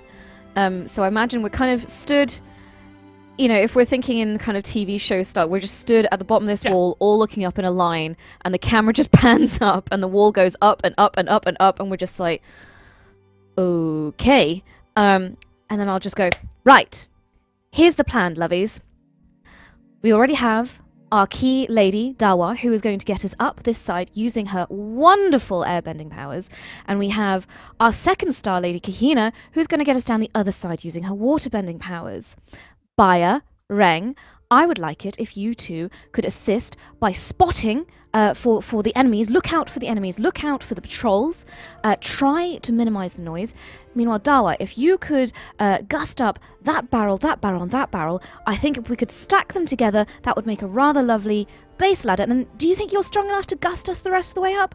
Uh, that's down to you, my love. I can Alright. give it a try. I've, I haven't gusted myself up for a very long time, but we can give it a go. Sure. So at this point, this is where Kim, as Meili, is now going to roll Mhm. the here's the plan move, right? So we've done the cool Okay. fiction, we see the scene. Now you get to roll, and we get to see if it goes as, as well as you'd hoped. Um, so this is So- uh, so this is just roll with creativity. Roll with creativity. Okay. Uh, come on. Yikes! Big yikes! Big old yikers!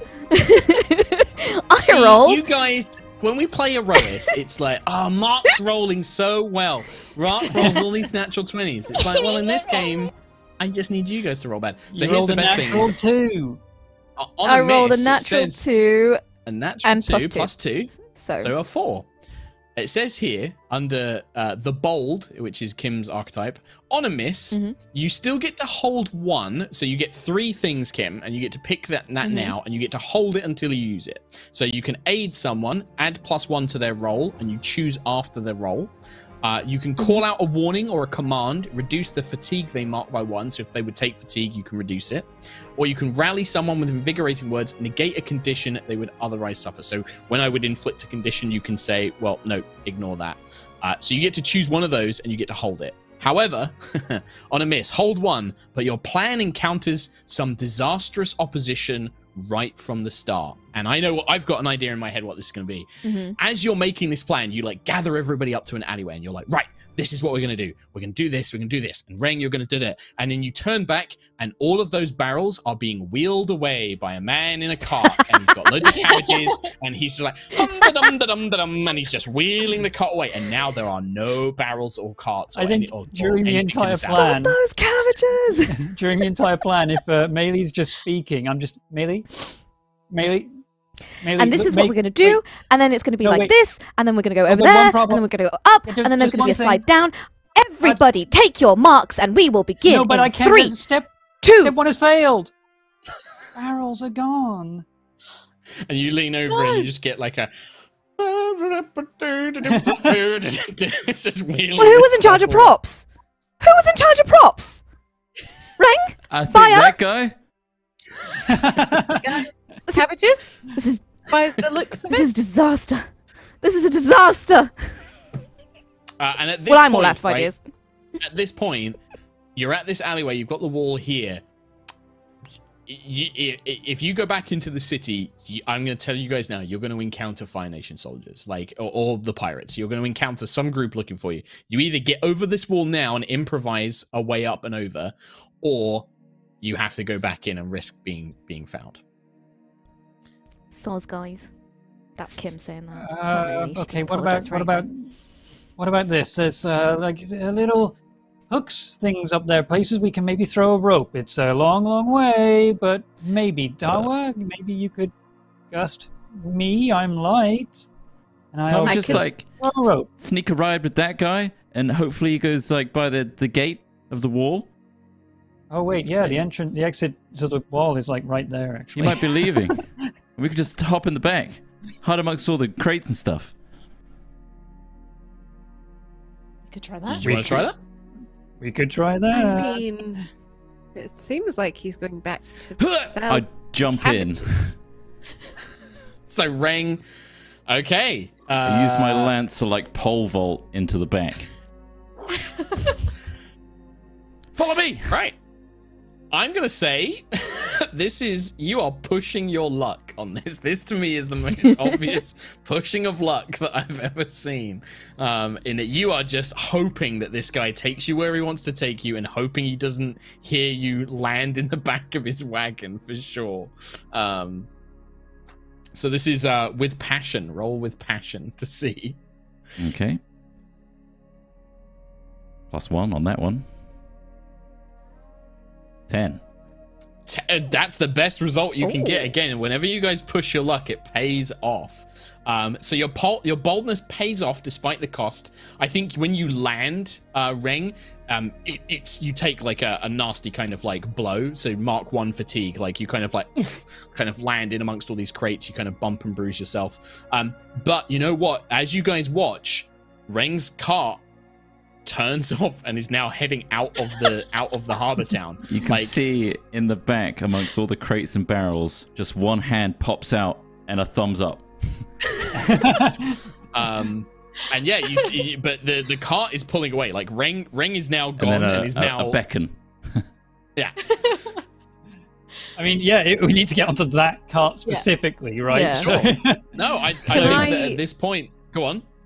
Can I speed myself up in getting to said cart by putting like a sheet of ice along the floor as I go and just like propelling myself along it? Like slide you like when you slide along the the like hardwood floors with socks on you know? Just like Yeah, Yeah, Mm. yeah. Because Yeah, I was gonna yeah. say for the rest of you, you're gonna have to catch up. So I think like that's definitely I want to see some like moves or something from like you guys catching up. But for Kenna, that's that's definitely uh, rely on skills and training. Like you're gonna use this maneuver that you've practiced with your your water bending to skate along and then jump in at the Maybe. last second. We'll see. Ooh. Well, three. Four, five, six, seven, seven. And this is is it? with uh, relying on skills and training with focus. Uh, six. Frick! It was a s- it, it was a seven and it went down to a six because of my minus Which one. um which hold did you take on your plan, Kim? Did you take the plus one or did you take another one? I was gonna say aid someone, so add a plus one to their roll, choose after rolling. So Do you want to do that um, now? Yeah, I'll use that now. Um seven. Okay. All right. So on a seven to nine, you do it imperfectly. The GM tells you how your approach might lead to unexpected consequences. Uh, accept those consequences or mark one fatigue. What are some good? I mean, if you guys have got ideas, by the way, for what consequences I mean, from your own the rolls, idea I is that uh, is y- you can skate on the ice. I mean, but maybe everybody it's else be is tough like for us. Yeah, Yeah. okay. Yeah, I Hmm. like that. Yeah, sure. I like that. So so Kehinna, you managed to kind of skate along. Um now you and again you can choose to not have that happen and just mark one fatigue. Like you could maybe at the last second like break all the ice so it doesn't cause troubles for everybody else. Or you can just leave it as it is and you're in the wagon. I mean, it depends what you guys you guys want. Do you have any other ideas, or do you want to use the ice to get there? Otherwise, you have to kind of find your own way. So I'm happy with either. I think traveling on the ice is going to make it more difficult for us than than I can easy. break It will. the ice. You'll get there just fine, but that could be the hitch in the plan. All right. I'll take a Yeah. fatigue. Okay, so you're going to just mark one fatigue, um, and so you kind of see this at the last minute, and then with your water bending, you kind of suck all the ice back up into water, and like manage to kind of pull it away uh, when you realize. But that's tiring to do. Like you have to, all this water bending is gonna is, is slowly tiring you out, right? Um, okay, so we see Kehinna and Reng have now like smuggled themselves onto the back of this cabbage wagon, I guess, uh, with all, like hiding amongst the barrels and things like that. Um, but we still have Baya, Dawa, and Meili. You guys are still thinking, and it's this this wagon's getting further away, right? Like it's about to Yeah. like turn into like the the gate leading out, and you can see there are Fire Nation soldiers everywhere. What's the plan here? you could also still can I- drink up over the wall, like you could still try Yeah. and do that.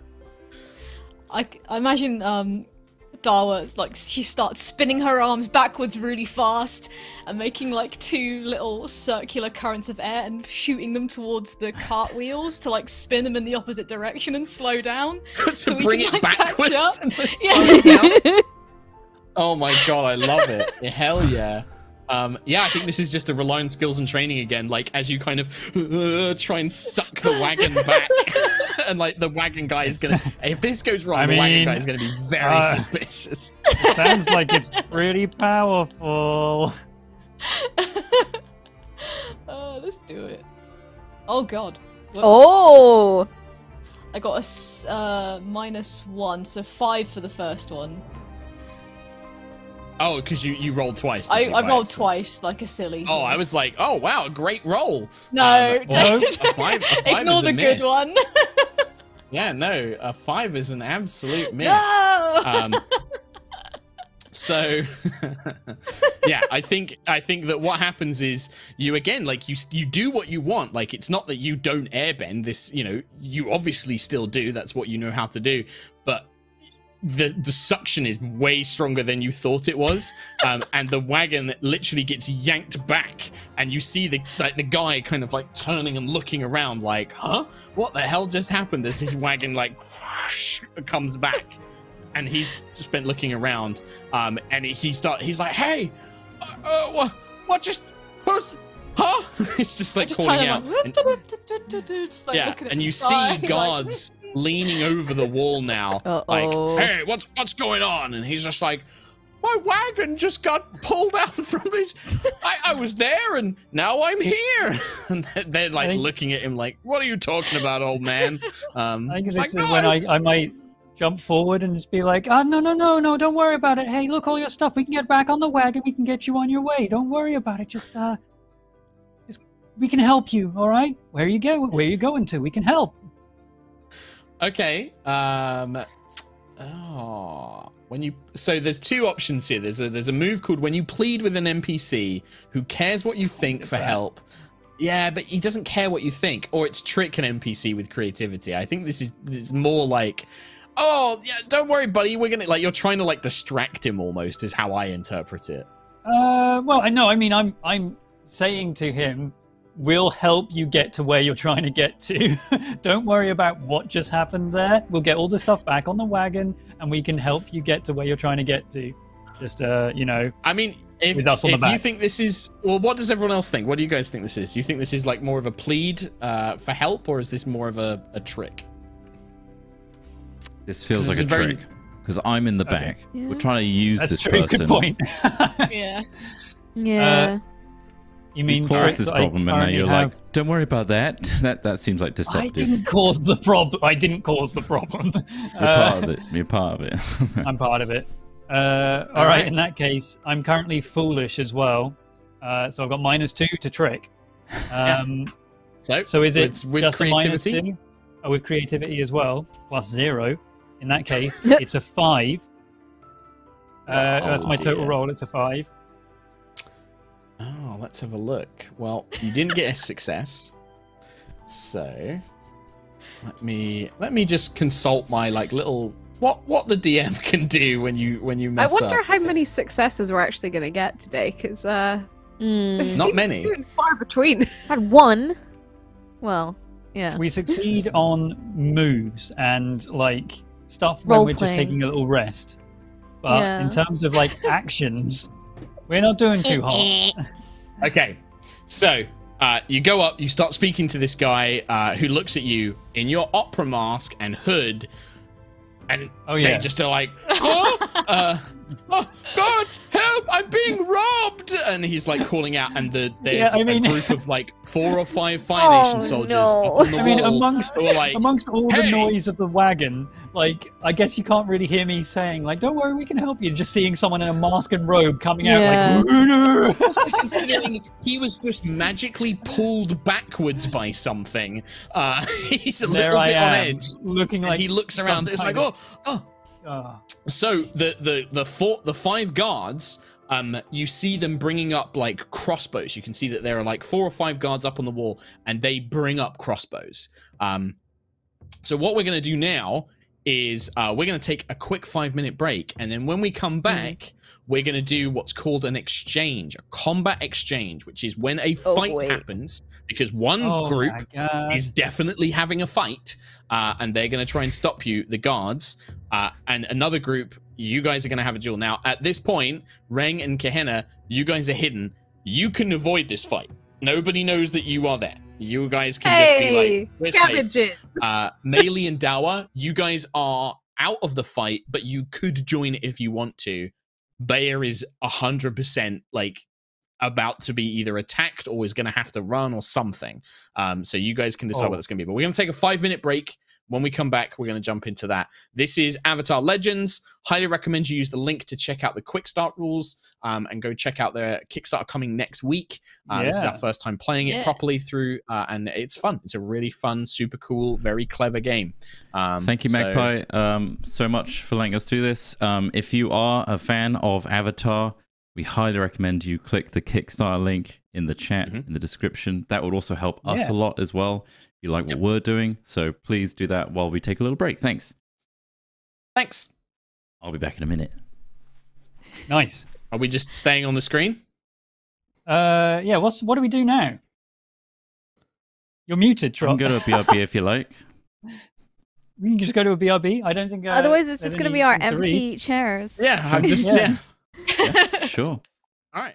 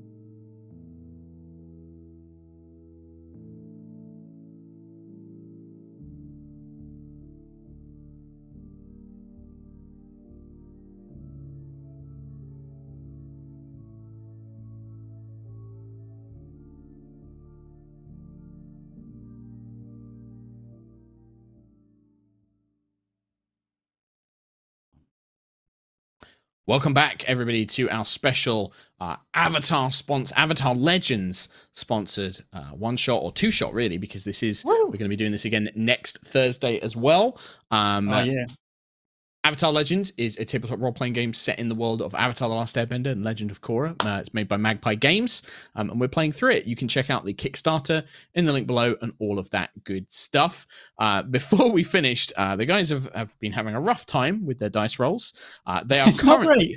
great. It's not great. Uh, so the team of we have a team of young rebels, resistant members, uh, resistance members, kind of like Star Wars, uh, who are opposing the Fire Nation, uh, which is attacking the world uh, and is is you know succeeding in doing so. And it is all set in Merchants Pier, which is like a harbor town full of like black trading and pirates and that sort of thing. And they are currently trying to escape in order to make their way to a volcano uh, called Mount Makapu, uh, and they they need to reach there because a bunch of firebenders are going there to set it off, causing a lot of problems. Um, and they've you know they don't know how long they have, but they need to do it. And we are currently find them at the walls of Merchants Pier. Uh, two of them have managed to successfully sneak into the back of a, uh, believe that we did concur that it was a cabbage seller, uh, cabbage seller's wagon, uh, as they are trying to make their way out of the city, uh, thanks to a very reckless but lucky uh, guess by Reng, uh, Trott's character. Um, however, when Baya, uh, well, no, let's let's get the sequence of events correct. Uh, Mhm. Kehinna manages to also sneak into the back of the wagon using a bit of water bending, and then Dawa attempted to slow the wagon down or pull it back towards them. Um, unfortunately, this spooked the driver, who became very concerned and started calling out a bunch of guards, which came to check. Baya, Tom's character, then stepped in to try and offer assistance and, and be helpful. Failed the Calm roll down. again and um, the the merchant now believes he's being robbed and has called the guards. Um, and the I guards wearing a disguise. down. You are wearing a disguise. Creepy. Yes, you have a big opera mask on. You have got a hood on, um, and yeah, people are uh, concerned. And you hear uh, about by the, the the Fire Nation guards are like, "It might be them. It might be the ones the captain's looking for. Uh, stop them!" And then they bring all their crossbows. And we are going to do something called a exchange, a combat exchange. And for that, I want to make sure that I've got my uh, moves or, or my knowledge of how that it works up. So, Okay. uh, when you engage in combat, um, NPCs uh, will choose an approach in secret. So uh, this isn't like D and D. There's no initiative. There's no turn. Right now, the fight is between Baya and this group of guards. Now, Dawa and Meili uh, may have a chance to get involved if they want to. They might be able to assist, or they can do other things to try and help. Um, Reng and Kehinna can also do that, but they are also currently hidden, so they might want to stay hidden. Um, but between the guards and Baya, we're each going to pick pro- an approach, and there are three types of approaches: defend and respond, advance and attack, evade and observe. Um, we both pick one, and then we reveal which ones we've picked, and then we take in, in order uh, our actions, with defenders going first, attackers in the middle, and then evasion, evasive maneuvers at the very end. Um, and they basically have different things that you can do. You can pick a technique, and you get to do a cool thing. Um, you do have to roll as well. Um, and depending on the roll is how many techniques you get to do. Uh, so that's pretty much where we're going to go. So uh, Okay. before we have the exchange, though, Meili, Dawa, Kehinna, and Reng, what are you guys going to do? Like this is uh, you you hear the kind of crossbows like loading up. What's the plan here? Uh, in terms of Reng, uh, he's felt the entire cart being shifted and moved back, so I think he's going to peek, see that it's all going to go on south, looking at Baya, looking up at the, the guards, and I think he's getting ready to grab his lance and make sure that Baya's okay and will, is Okay. willing to deflect uh, arrows, that sort of thing. Do you want to do you want to get into the fight? Do you want to like take an action to jump to to Baya's defense and be part of this exchange? I think I would, yeah. Okay, all right. In that case, you'll be both in it. What about Kehinna? I think she would probably want to be tactical about it, given that she's in a safe position right now. But if there's any um, way that she could uh, do some water bending to potentially create a shield in front of anyone who's being shot at. Like, So if you want to do that, ice. you would need to be part of the exchange. So, like, this is the thing: is like if you're going to do something like that, you become part of the fight. Even if you stay hidden, the enemies will know where you are, and you'll basically become part of it. The other thing I'm going to remind you of, Katie, is you currently have the afraid condition. If you just don't get involved in this fight, you will be able to clear that condition because you're still technically shaken from that battle against the Onyx Juggernaut. So, True. like, you could be like a, oh man, like maybe I, you know, I'm not, I, I can't help them with this. Like, you could do that and clear that condition, but that you know can have its own consequences as well but if you want to like create a shield and stuff like that that is absolutely uh, you're going to be getting involved in what's going on Can you decide to get involved at, at any point, or do you have to sort of. So what it will do is we'll do one exchange. So we'll have like a kind of narrative scene of like maybe the archers will fire their first volley of things. Baya and Reng will do something. And then we stop and we kind of check with everybody else. Like right is, are you guys doing anything? Do you want to try and talk to them? Do you Yeah. want to try and run away? Like we we kind of stop it and then do another round. And then if it's a case of like nope these guys are going to keep fighting then we have another exchange and you can join that one.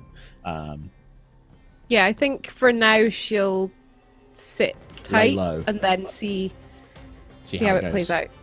All right. Okay. Uh, okay. Uh, what about uh, Dawa and Meili?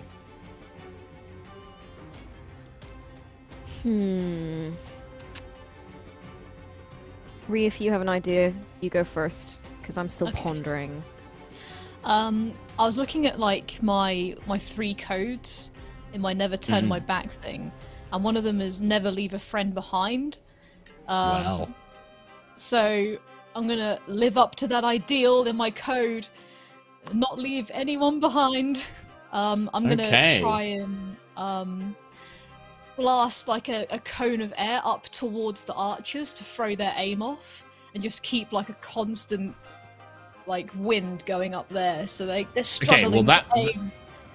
Yeah. So that will come into as part of the exchange. So I'm also just going to check here. So you're the idealist, aren't you? Mm. Ah, okay. Um, so when you live up to your ideals at a significant cost, someone who witnessed or hears about your sacrifice approaches you to affirm their allegiance to your group's purpose.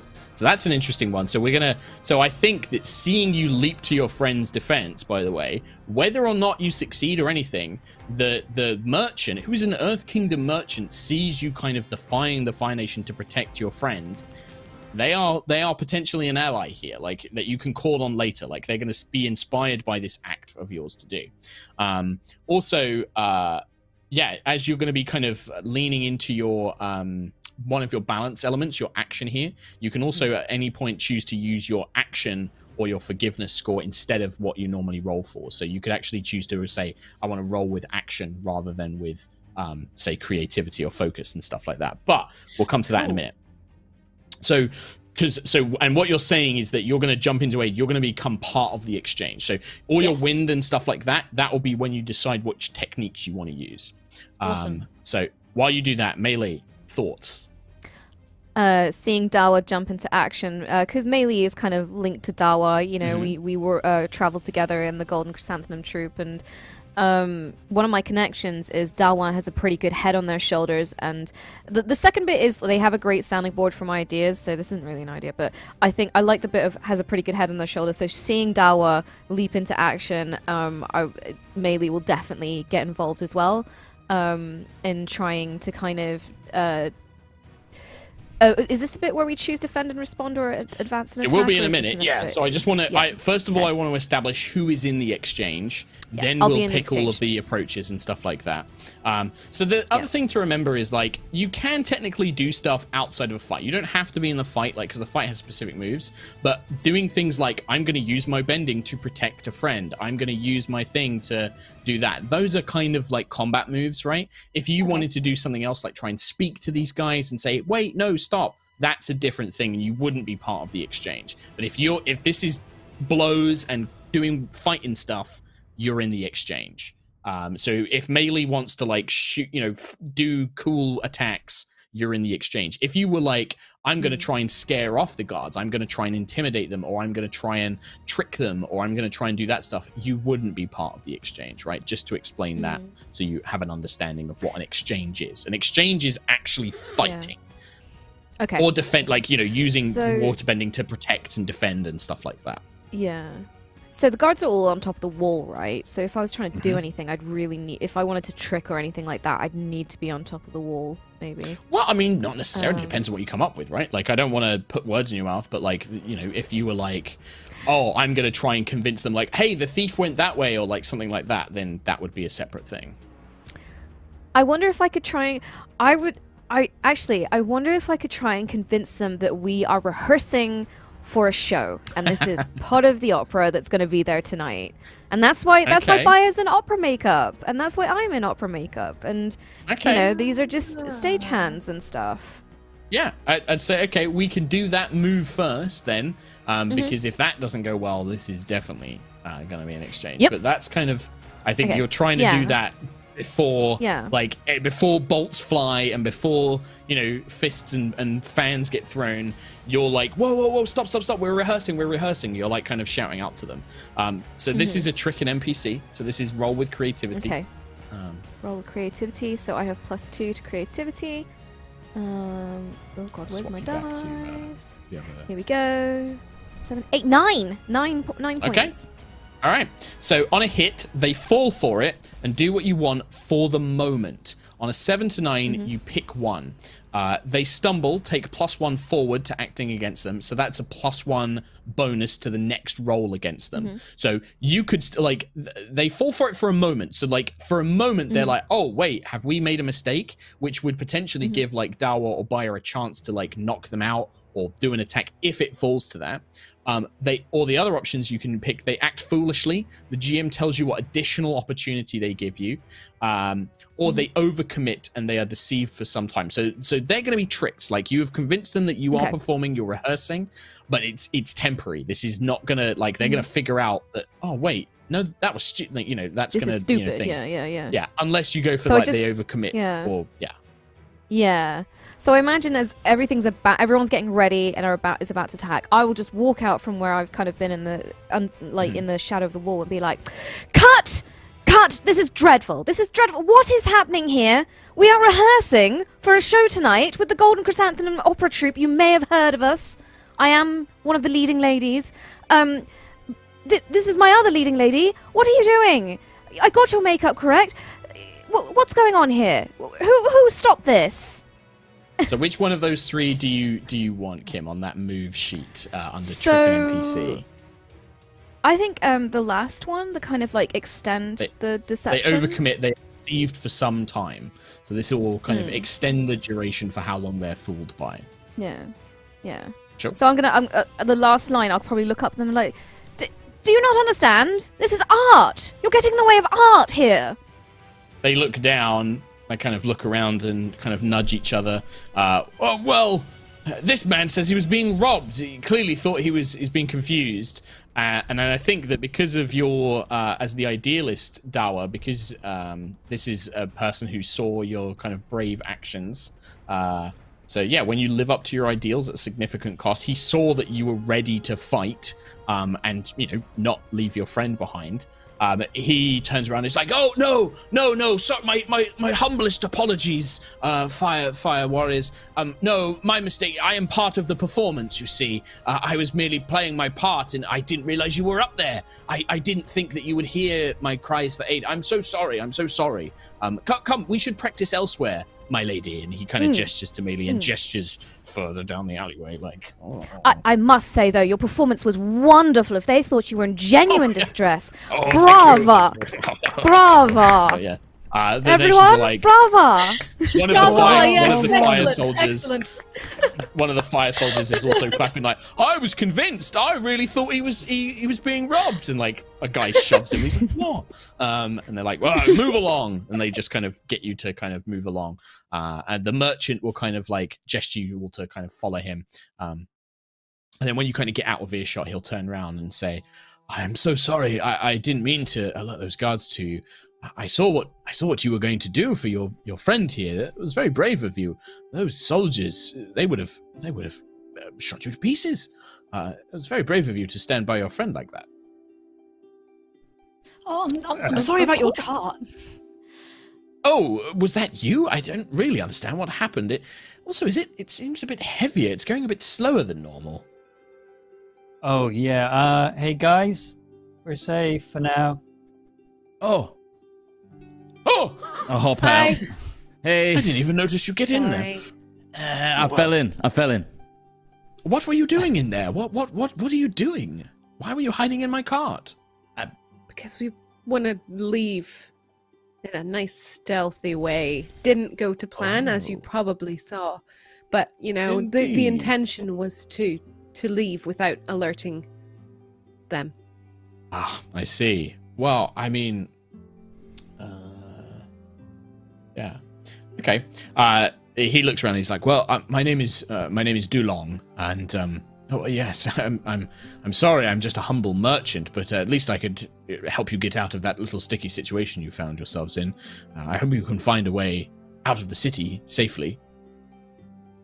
Well, are you, are you heading out the gate right now? I am, but uh, the guards check the wagon when when you make your way through. They check it for contraband. Uh, the pirates don't like any of their materials uh, being traded outside of this place, and the Fire Nation are well, they're on edge about something. There's a particularly um, vigorous young woman, a captain, I believe, a swordswoman. She's checking everything, being extremely cautious. You're quite lucky. If you had been hiding in my cart, they would have checked inside of it. They may have discovered you Oh, you can see and i'll tell you you got this guy is for free. He he might help you. You're gonna have to directly like ask him like actually ask him to help you get out of the city because this is putting him at risk. Like if Okay. if he's caught with you he'd be thrown in prison or like or you know whatever. Um Well, we need to get out of the city somehow, town, big town, somehow. Uh, is there some other way you might know that we can escape? Maybe, maybe, maybe we're your guards, and uh, we just go alongside with you. Um, oh well um, it's kind of umming and ahhing i mean do you want to push do you want to try and plead with him Baya do you want to try and push this as a plead I mean, just to get some information as a, a, a way out, uh, like something to to get us out of the city. Um, yeah, I'll try that. Uh, what would I need to do for that? So, uh, when you plead with an NPC who cares what you think, they do, uh, for help, support, or action, all three things apply. You roll with harmony. Uh, harmony. Okay, and I again, have. I'm going to remind you guys there is a thing called helping, which is when you take Hmm. appropriate action to help a companion, um, you can basically mark a fatigue to give them a plus one to their roll. So you can take one fatigue in exchange for giving them a plus to their roll. Um, but you have to do it before the roll takes place. I've already I want to want to do help? Dawa? Yeah, I'll help. Yeah. What? So, what does that look like? How does what does Dawa's help look like in this case? Are you just pleading the case with them? Are you what? What's the plan? I'd, I'd, pro- I'd just tell it to them straight what's going on. So Okay. I'd let I'd let them know and say if if you help us, you'd be doing an unspeakably good thing. We're trying to stop an invasion up at um Makapu Pass. The the Fire Nation they're gonna they're gonna set off a volcano. We need to stop them. Dulong kind of looks a bit scared, but yeah, I'd say that flat. that counts. so you can, uh, if you take one fatigue there, uh, Dawa, um, and then Baya, you get to add a plus one to your roll. Okay, so I'm now doing this with a plus two, so that makes it a ten. nice. That makes it a ten. So on a on a plead, look on a at this seven to nine, they need. If this was a seven to nine, they need something more evidence that there is the right course, guidance in making the right choices, or resources to aid them before they act. The GM tells you what they need. On a ten plus, I mean, act Dawa just said the volcano is going to blow. Yeah. exactly. So on a 10 plus, they act now and do their best until the situation changes. So this guy's not just going to help you get out of this town. He looks and he's like, an invasion? Mount Makapu? Ah. Oh, I, I, there's always talk about rebels and resistance, and I've always tried to keep out of it. But well, if you young kids are willing to do something, uh, I should do the same. All right, we'll say that you're my guards and you're escorting me to Harbour Town, and I'll, I'll take you uh, as far as I can. Uh, the wagon it should make your journey a little bit easier. come on and he's gonna kind of gesture and yeah like this guy is 100% gonna help you out now like he is utterly convinced by dawa and baya uh to to, Nice. to make this like something that he's willing to really go the distance on um so the group of you we get like a cut right? He says all of that and then the next thing we see is you guys all maybe wearing sort of like some some just earthbender cloaks like some green cloaks that he's given you. Um, and you're marching alongside his wagon which is pulled by a donkey pig uh you know uh merge two animals together get an avatar animal. Um so it's being pulled by a donkey pig and he's kind of sat on it and you guys are flanking him on either side as, as his guards right? Uh, when you approach the big gate to merchant's pier you can see that again there's you, in fact actually no what you see is two different groups arguing with each other. They're checking all the wagons but they're constantly bickering. You see a group of pirates led by a big burly uh no sh- like open shirt um big sort of like kusarigama like a big sickle on a chain kind of wrapped around the the mid chest um big beefy guy with a bunch of kind of scrawny dirty looking pirates. And then opposite them on the other side of the gate is a very very regal looking Fire Nation woman. She wears armor. She has a straight sword, like a, a Chinese straight sword, kind of in a sheath at her belt.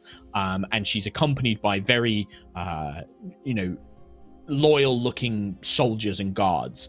And you can hear them arguing as you're approaching. Um, and the pirates are saying, like, you don't own this town. This this place belongs to Peony. You don't get to make the orders here, Fire Nation. You're here as our guests, and you're causing trouble. Um, and the woman turns around and says, like, you pirates are nothing but scum, dealing in things that you have stolen. No honor or respect. The Fire Nation is here to bring peace. And if you really want to mess with us, hmm, and she just kind of puts a hand on her sword, I'd be more than willing to teach you ruffians how a real warrior deals with problems. And you can see that tensions are really high as you guys are making your way to the car. Uh, and Dulong kind of says, like, just say nothing or just slip on by. Um, and you see that they go, a few of them come over. A couple of the pirates is just like, What have you got here, old man? And they go and start looking around. He's just like, Oh, oh, just just some cabbages and some vegetables, taking them to Harbour Town for trade. Nothing, nothing particularly exciting. Ah, we'll be the judge of that. And starts around. Who are these kids? Oh, oh, these are all my my nephews and grandkids. They're they're looking after me. You know, I'm not very good on the road these days. oh, just oh. And the pirates don't seem too fussed. Like they're just like ah, whatever. But the the the captain, the woman on the guard, is kind of eyeing it up. That's strange. A lot of grandchildren for one such as yourself, and some of them, well, I, some of them don't even look like they're from the Earth Kingdom. Uh, what do you guys do? Oh crap! Uh, I mean, I can.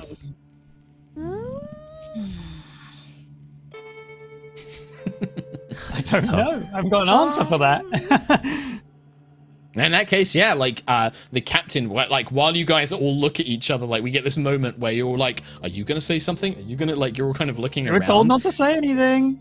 she steps up and she starts like looking more closely like under the hoods and i think that she's going to come up to probably kehinna um because like the earth kingdom like the kyoshi kids like it's the earth kingdom they could be reasonably here uh uh meili fire nation doesn't look too out of place but the two that she stops in front of is dawa and kehinna and uh she will draw her sword and she's gonna lift it up as if to like push your hoods back with the sword tip. What do you guys do? Can I just throw myself on the ground at her feet Mhm. and be like, "Oh, oh, please, Malay," in the worst, like you know, thespian, like just doing like the most pauper kind of Cockney um orphan accent. Oh, please, my lady, please, we've travelled ever so far. Uh, with with my family and and uh, we, we we may not look like we're related but we are big family. Only way to keep warm. Only way to keep warm in the cold nights. Oh we need to sell these cabbages so we can get more food and clothes for the little one uh, there's an even littler one back in there somewhere. Oh please let us okay. through That's a thing I could definitely check if this roll goes badly. Uh, okay, is anybody else doing anything? Or because this sounds like a trick mean- an NPC from Meili for sure. Yeah. I think I would help a companion. Sure. How do you help? I throw myself to the side and I'm bowing as well. Like, oh, benevolent. Lord, please grant us passage. He keeps falling asleep at the wagon. Uh, we've had so many troubles en route as is. The food is going stale. The little ones. Yeah, and all that stuff. Sure. Okay. Would you, so you're going to mark a fatigue and give a plus one on this? Right. Yeah, I'll mark a fatigue. All right. Okay. Then mark one fatigue and then Meili. This is trick an NPC, so roll with creativity and you get an extra plus one. Creativity. Okay, so I get plus three in total because my creativity is two. Nice. So, Let's hope you roll well. Oh, five, six, seven, eight total. Okay. So on a seven to nine, you pick one. So it's the same thing for trick an NPC. You've got three options. They stumble, um, they act foolishly, they overcommit. Um. Oh god, I know, I know, I want to try a different option, but I kind of want to overcommit because I don't want to. I don't want to no, end up fighting this lady. it has to be She's scary. like, yeah, absolutely. Um, Yeah. Okay, yeah, that's easy. They kind of, and I, I think that the other thing I'm going to say with this, it wasn't a ten, but she's she's taken aback. Like she kind of like looks at you and like groveling, and she's like, "Please uh, get up." I'm, and she puts the sword away. None of that. Just because we are here, we are here to bring the the prosperity and the guidance of the Fire Nation. You do not need to grovel and beg in the in the dirt. Stand up. Stand with pride. Be on your way. Go on. Oh, And she just kind of gestures. Thank you, milady. Thank you. Uh, Thank you. it- almost like you've insulted her honor a little bit. Like she didn't want to be, you know, she Oh. she wanted to be, you know, there's a respect there, kind of thing. Um, and she just kind of gestures you on. Um, and the last thing you hear is, you know, maybe a comment from her, just like, "I must go and report to Admiral Carr. The people that attack the docks haven't been found in hours. We need to push on. I'll go and speak with him. And you hear her kind of like making her way off. Um, but yeah, the the wagon trundles out and begins to make its way out of Merchant Pier. Uh, as yeah, this this ruse of Meili's manages to buy you enough time uh, to get out. Uh, whether that how long that's gonna last, because she Yeah. this this swordswoman, this captain, she definitely noticed something a bit off about Dawa and Kehinna. Like definitely saw that they weren't Fire Fire Nation and Earth uh, Earth, Earth Kingdom. Um, but convinced for now at least uh the wagon trundles on and we you know Dulong begins singing a little song um as you get further and further away but yeah you guys are on the road um what do you guys want to do it's gonna Oh, take you at least a day close. or so I almost got shot. We almost got discovered. This was. This could have gone so much better, but we're on the way. We're out of the town. We can finally go and see this new place and try and get some new supplies in a place where people won't recognize us as ship blowing up people. Yeah. Um, Yeah, we could soak in the sights of a huge volcano that's about to be overwhelmed by Fire Nation people who are going to be overpowered and destroy not only this village, but they will find the Kyoshi warriors and they'll destroy them too. We should really warn them. Oh, okay, okay, a little bit dramatic, but I mean, first things first. We go to the the volcano, we boil a little bit. It'll burn our skin and maybe our hair, but we save the mm, No. village. No, No, It's no. not very convincing, burning. Briar. how how effective is ice um, in small quantities against large quantities of lava? Just uh, asking. for Oh, a friend. terrible! It'll melt instantly. water is. Oh, Yeah. fab. Yeah. Excellent. I can at least keep m- my forehead cool if I really want to, though. You know, little little Temporary. things. Yes, yes. It's very, very important to protect yourself against heat stroke and, and heat exhaustion. By the way, uh, sweethearts, I'll, I'll take my thanks for my remarkable acting skills any time now. You know, I I acted. Did you see that performance when we were dealt with the guards? And then and again, my accent so so poor, wasn't it? Like you know, as, you could feel that I was a real urchin. You know. Actually kim this is a good chance i wanted to ask you about this because your archetype the bold um you have a thing called Yes. legacy of excellence where you have to pick four things Oh. from a big list Um, and Um, when you when you excellent, when you achieve them, you get to like mark stuff off. What are your what are your uh, goals? Your current goals? I picked openly outperf- outperform an authority figure, pull off a ridiculous stunt, pet a fantastic beast, and travel to an incredible place. Well, you know, I think that uh, like I mean, outperform an authority figure, and yeah, a hundred percent, you just did that. Like that would that captain was clearly a senior member of like the Fire Nation. So if you want to mark that um, as completed, and when you mark when you fulfill a marked drive, you strike it out. You mark growth. Which is XP tracking, by the way. So, like, that is you get to mark a point of XP, Cool. basically. Um, and uh, or you can clear a condition, but I don't think you currently have any conditions, do you? I don't have any, no. All right, no. so you get to mark a growth. I will mark growth. one one Hooray! growth. Excellent. One growth. cool. Um, and then yeah, sorry, that was to interrupt. So so Meili makes this like I will take my thanks now. Mm-hmm. Sure. I clap. Great job. Thank you. Thank Honestly, you. I was convinced. Thank I felt like I was really part of this guy's family for a second there. Very impassioned. Yes. It was very good. Dar was like flipping and running around in the open space, just like having a great time, like in between somersaults. She's like, "Way!" like ca- cartwheeling around. Amazing. Well, you, you can't deny, Baya, that we've we've managed to get quite an exciting bunch of people to uh, go to volcano together. I know. This is exactly what I wanted before we go back. To explore the world, see new things, and this place we're now going to? I've heard about it. It's got some amazing things. This is a Tom, would you like to use your, like your use that. stupid move? I mean, maybe when we get there, uh, or shall I just use it now? Well, so unless you guys want to like have conversations with each other, because again, like Avatar's all about like those heart to heart moments and stuff, right? Like if you want to have that, like I want to talk to Thingy and tell them how cool they are, or how much I'm angry at them for not doing this thing. Um, unless you want to do that, we'll just cut to the village. But before then, I think we should definitely do your little uh, otter penguins unagi and hot springs move that you have. Yeah. So, when I visit a new inhabited location that I've learned about in the past, I roll with Harmony. Let's do that now, because I might just completely miss this.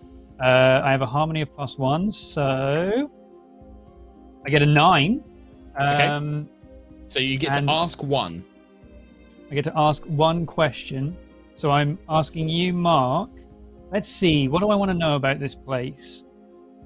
What is the special tradition prized by the locals in this place? Oh, God's sake. Uh, Avatar lore fans, forgive me if I don't get this wrong. Um, what is the special, what was it? The famous, the tradition, a special tradition prized by the Yes. locals. Yes. Um, it is, uh, it is a, God's sake, Thomas. Um, it is the special, uh, the, the flopping of the fish, which is a special, uh, festival event that takes place where they get a live fish because it's a fishing town and they start it in the upper they take it to the top of the the kind of tiered village and they see which fish will make it back down to the water. It's like a race. So you have to catch to you catch a don't? fish and then you take it up to the top and then you see if it can make it back down to the water it's a, and if a, it doesn't make it you have to race. eat it you have to eat the fish if it doesn't make it Okay. it's the it's called the flopping fish festival Flopping Fish Festival. You asked me it. to make stuff up on the spot. you're this right, is the it's fine. content you get. Season three I of mean, I'm- Avatar right here being written. Guys, if you want this of the idea, Welcome to have book it. three. So good. I mean, the worst part is I now have to run with it. We simply have to go see the Flopping Fish Festival. you won't believe this, but it's the perfect time of year. Yeah. Really? So yeah, it is literally the flopping fish festival is like today or tomorrow or like I'd say it's like a whole week long thing. They do it every day for a week, and you're it, it just so happens it's this week. You should see how they're just flipping and flapping. They just bounce along the streets, and the ones that make it, we cheer and celebrate. The ones that don't, Uh, Greet 'em. Reng just like grips his spear, like white knuckle, like bites it, like trying to restrain himself. Like, "Ah, this is what you want to leave Kyoshi Island for? To explore the world, to see new sights, to Flopping fish. The Fluffing Fish Festival. It's talked about the world over. Ah, he just flops back in his seat. Now, just Just a, like that. Just a, Dulong Real says like, yes, that's how they that's how they flop. uh, Ah, he keeps flopping around. It also says uh, this move continues, by the way. You and your friends each clear fatigue when we interact with the answers. So if we go to this town and and visit the ah. flopping Floppy fish, fish. festival, You, no, you have to interact. You have to participate. In the Oh flopping no! Oh. But if I've you got one it, No, this means that, this means that you have to come up with the festival The and potentially festival. mechanics around the flopping Not fish. only yeah, that, the mechanics also will be the mechanics would be test your luck, and then that's if your fish wins or not. That's I mean, it. also we have to we have to I guess catch a competitor and name it and enter it in the no, no. fish So what I would so. Uh, is there any other conversations? Because if not, we're going to arrive in Harbour Town. Sure. Um, I mean, yeah, I'm, I'm getting excited No, I'm about going to see the Flopping Fish Festival. Uh, so if I'm- anyone wants to interrupt that, so as I'll a be point, like I mentioned earlier, I. go on, go on, maybe. I've already got the golden saucer music in my head at this Yeah. point. Yeah. I mentioned this earlier to Tom, uh, but keep like think of it that like things like your conditions and your balance, all of you are aware of that. So like you all have a sense. Kehinna is still a little bit shaken from the fight with the Onyx Juggernaut.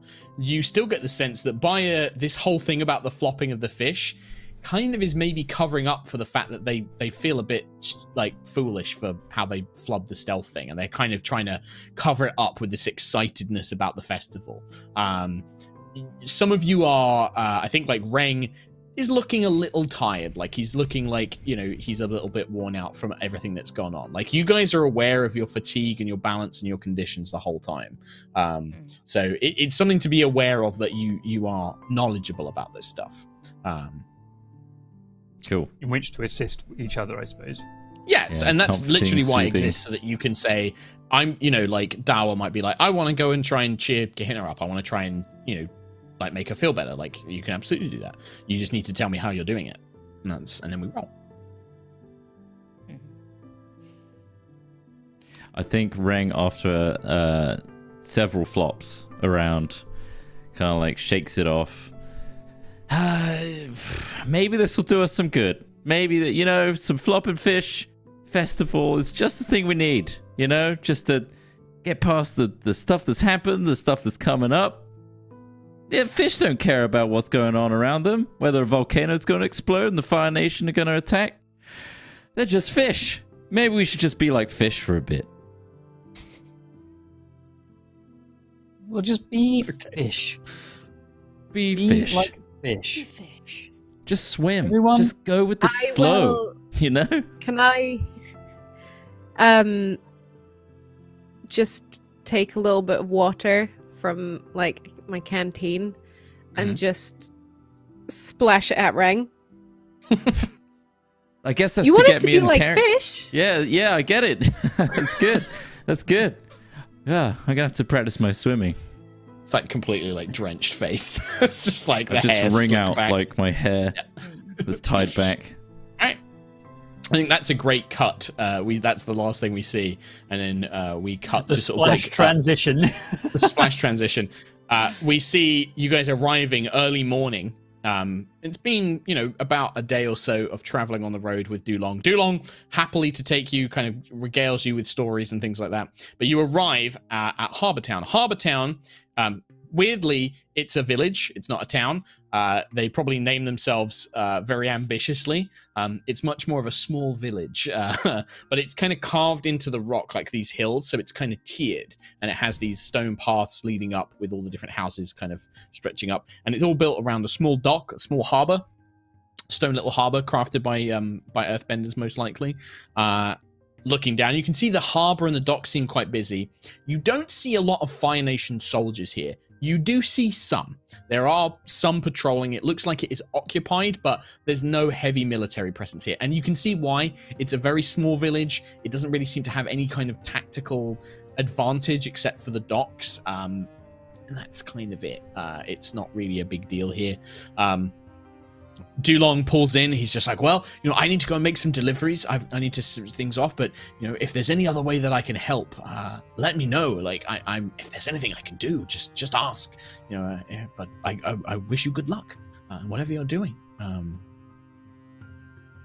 Thank you so much, my wonderful friend. And, you know, if the life of being a cabbage merchant, you know, it, it doesn't see it, it doesn't appeal to you anymore, do apply to the Golden Chrysanthemum Troupe. You you do have a natural talent, especially for the cowering. That was wonderful. perhaps I will. Perhaps I will. And with that, he'll kind of head off with that ruminating. Bye, uh, Granddad. thing.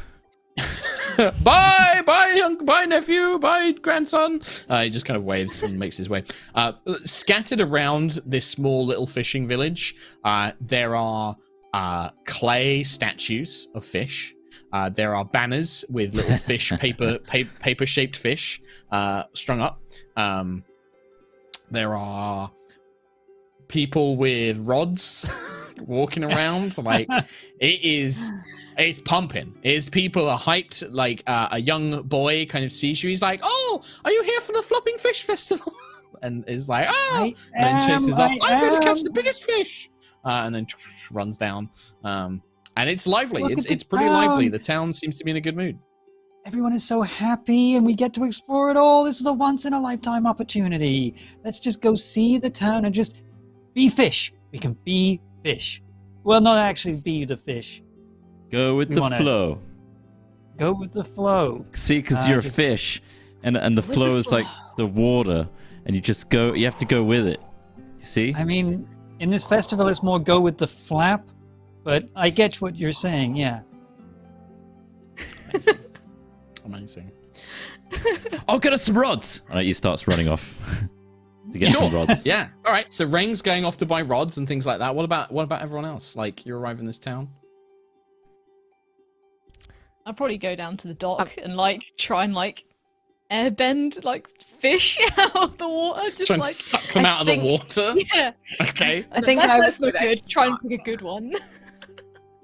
He's Hmm. trying to pick a. I think I think Kehinna would go down to the to the docks as well. Um, Uh-huh.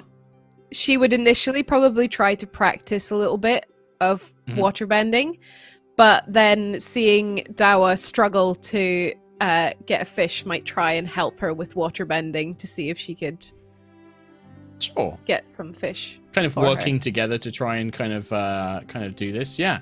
Do you guys like have a conversation about it, or is this just sort of like a you guys kind of goof around for a moment and just um do that? What kind do you want for the competition? S is it important? The kind? I I don't know Oh. what. I, I feel like bigger is better, right? So it's try and get a really big one, and then maybe Really it'll do, big, do okay, a huge okay, flop, okay. yeah, and it will go Big all flop. the way. Gotcha. Yeah, yeah, yeah, yeah. Gotcha. So try and get the Okay. biggest one we can. I think Okay. Baya will want a, a fish as well. Should we get one that like at, at equal size? I don't know. We, I'll try. Ooh. I'll try. We can, yeah, yeah, yeah. Let's keep going. Let's keep going. Let's try. Let's let's get as, as big a one as we can.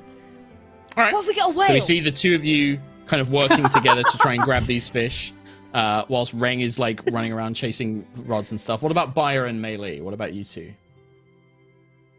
I've got an idea of something I want to do if when everybody has left, so whatever Meili is doing. Okay, sure. Uh, Yeah. Just checking um, who's got conditions. So it's Reng and uh, and uh, Reng Kehinna. Kehinna and Oh, I think, Does uh, yeah, I've got one as well. Yes. Okay. I am foolish. Yes, Baya has foolish. Yeah. In fact, I think it's just Baya and Kehinna now. I think. I've got okay. afraid. Uh, I was just Oh, sorry. Yeah, it's not showing up on mine. So yeah, Reng's got afraid as well. Uh, foolish. Okay. Um. I think, uh, to be honest, I'll I'll go and uh, join the ladies down um, Mhm. with what they're doing because I think I think Meili's never going to be too far from Dawa, especially because you know Mhm. um, she's always going to kind of keep a little eye on her, not not in a bad way, but in a just making sure you're okay, um, sort of way. Um, so yeah, I'll be I'll be helping. Uh, I'll be I'll be kind of joining in with the shenanigans. But I think as well part of it, um, Meili would just be sort of sliding in little kind of positive reinforcements to Kehinna, being like, you know, you're really skilled at that. The the, the delicacy and the precision of your waterbending is absolutely uh, it's a delight to watch. Sure. Uh, that is obviously a comfort and support. Uh, so I'd like you to roll with harmony, please, Meili. Harmony. And uh, again, Dawa, if you would like, Kehinna can't help with this, but Dawa, if you wanted to, you could take a fatigue to help Meili if you wanted to. Yeah, I could I could do that for sure. Yeah. Yeah. Okay. All right. Did I So you get just another plus one Did to that uh, Yeah. if um if Dawa takes a minus uh, takes an extra fatigue. Okay, that's a ten then. All right, 10. Okay. So on a 10, uh, so on a comfort and support, on a hit, uh, the, well, first things first, Kehinna needs to decide, Kehinna needs to decide if they open up to you or not. So it's up to Katie to decide, does this comfort, are these little kind of compliments and reinforcements, do they reach Kehinna? Does she want to respond? I think she would, but I think she would probably spend some time talking to Meili about the attack that she saw happen and why Well, her adversary is such a big threat. Yeah, we're going to get to that because so if you do, if you open up to it, what happens is Meili, because you got a 10, you can ask uh, a question to Kehinna and Kehinna because you because you got a 10, Kehinna can ask you a question. Um, anybody who answers honestly can choose to clear a condition or up to 2 fatigue. So you can ask each other a question and you can choose to clear a condition or, or basically heal uh, from this, but you have to answer it honestly. And it can be any question, but obviously you want to have one targeted, like, you know, maybe Meili, this is the point where you've been kind of dropping these things in, but maybe you say, hey, what's, you know, what are you so afraid of? Like, what's got you on edge? Mm, you know, yeah. what, what, what, what, what Yeah. was it about that warrior? That warrior really seemed to get under your skin. Why? And then Kehinna, Mm. you can then ask a question back related to that, like, you know, do you think I can beat him? Like, I, you know, I don't think, you know, whatever it happens to be. So I, I threw this back to you guys now. So I think definitely, given the context of the situation and kind of everything that's happened today, um, my question would definitely be like, you know, I I noticed, my love, that after we saw that uh, Onyx Juggernaut, you seemed a bit shaken. Are you all right? Why why did he? Why were you so shaken by it? I've seen you taken take take far more fearsome warriors. There's something different about him. He. I've seen a whole village up in flames because of that one person. And Ah. there weren't enough waterbenders there to help. And I couldn't help. I, w- I was young at the time. It it gave me drive to learn and to to teach myself, to get taught by others, to improve. But he's caused a lot of devastation, and in that fight back there, I couldn't I couldn't touch him. I I, I just wasn't powerful enough. Okay. So Kehinna, now you can ask a question back to Meili. what do you think that I should do? What do you think I can how can I improve to beat him? That is a rather tricky one. I would honestly say. I once heard something. While it is always best to believe in oneself, a little help from others can be a great blessing. I I believe that you are strong enough. But know that we are always here as well to help you. And together, I think we can take him down. Well, I think that's Thank both you. very honest from both of you. Um, so yeah, if you want to clear afraid Kehinna, and then Meili, you can clear up to two fatigue because you don't have any conditions. Hooray! Lovely. What a lovely little moment. What lovely And then, and, and Dawa, you're obviously there, like you were kind of encouraging with the mm. compliments, but you hear all the conversation and stuff, and just kind of, you know, Yeah. you get to kind of see it kind of take place. Yeah, I sympathise greatly with Kehinna in that hmm. moment. Yeah. Like. Yeah, I think it's just yeah, the you can see Kehinna is obviously much more determined to fight back, whereas yours was more of a kind of like you've come to an understanding of like, well, maybe fighting isn't always the best answer, but you know, she's got to kind of follow her own path, kind of thing. Mm. Um, all right, Baya, everyone, you're on your own. Yeah, so uh, now that everyone has kind of gone off and I've sort of outwardly been showing this excitement for this flopping fish festival and trying to get everyone not necessarily distracted, but gives them something to look forward to for the day. I think Mm. like they're heading off, I'm smiling, everyone is doing their own thing, and that's kind of then replaced by because at the moment I'm feeling stupid and foolish and Mm. I guess in in this sense, it's kind of slipping more into like the insecure of like should have taken this guy down. The operation should have been a lot easier. We should have been able to get out of this town. I'm not the warrior I'm meant to be.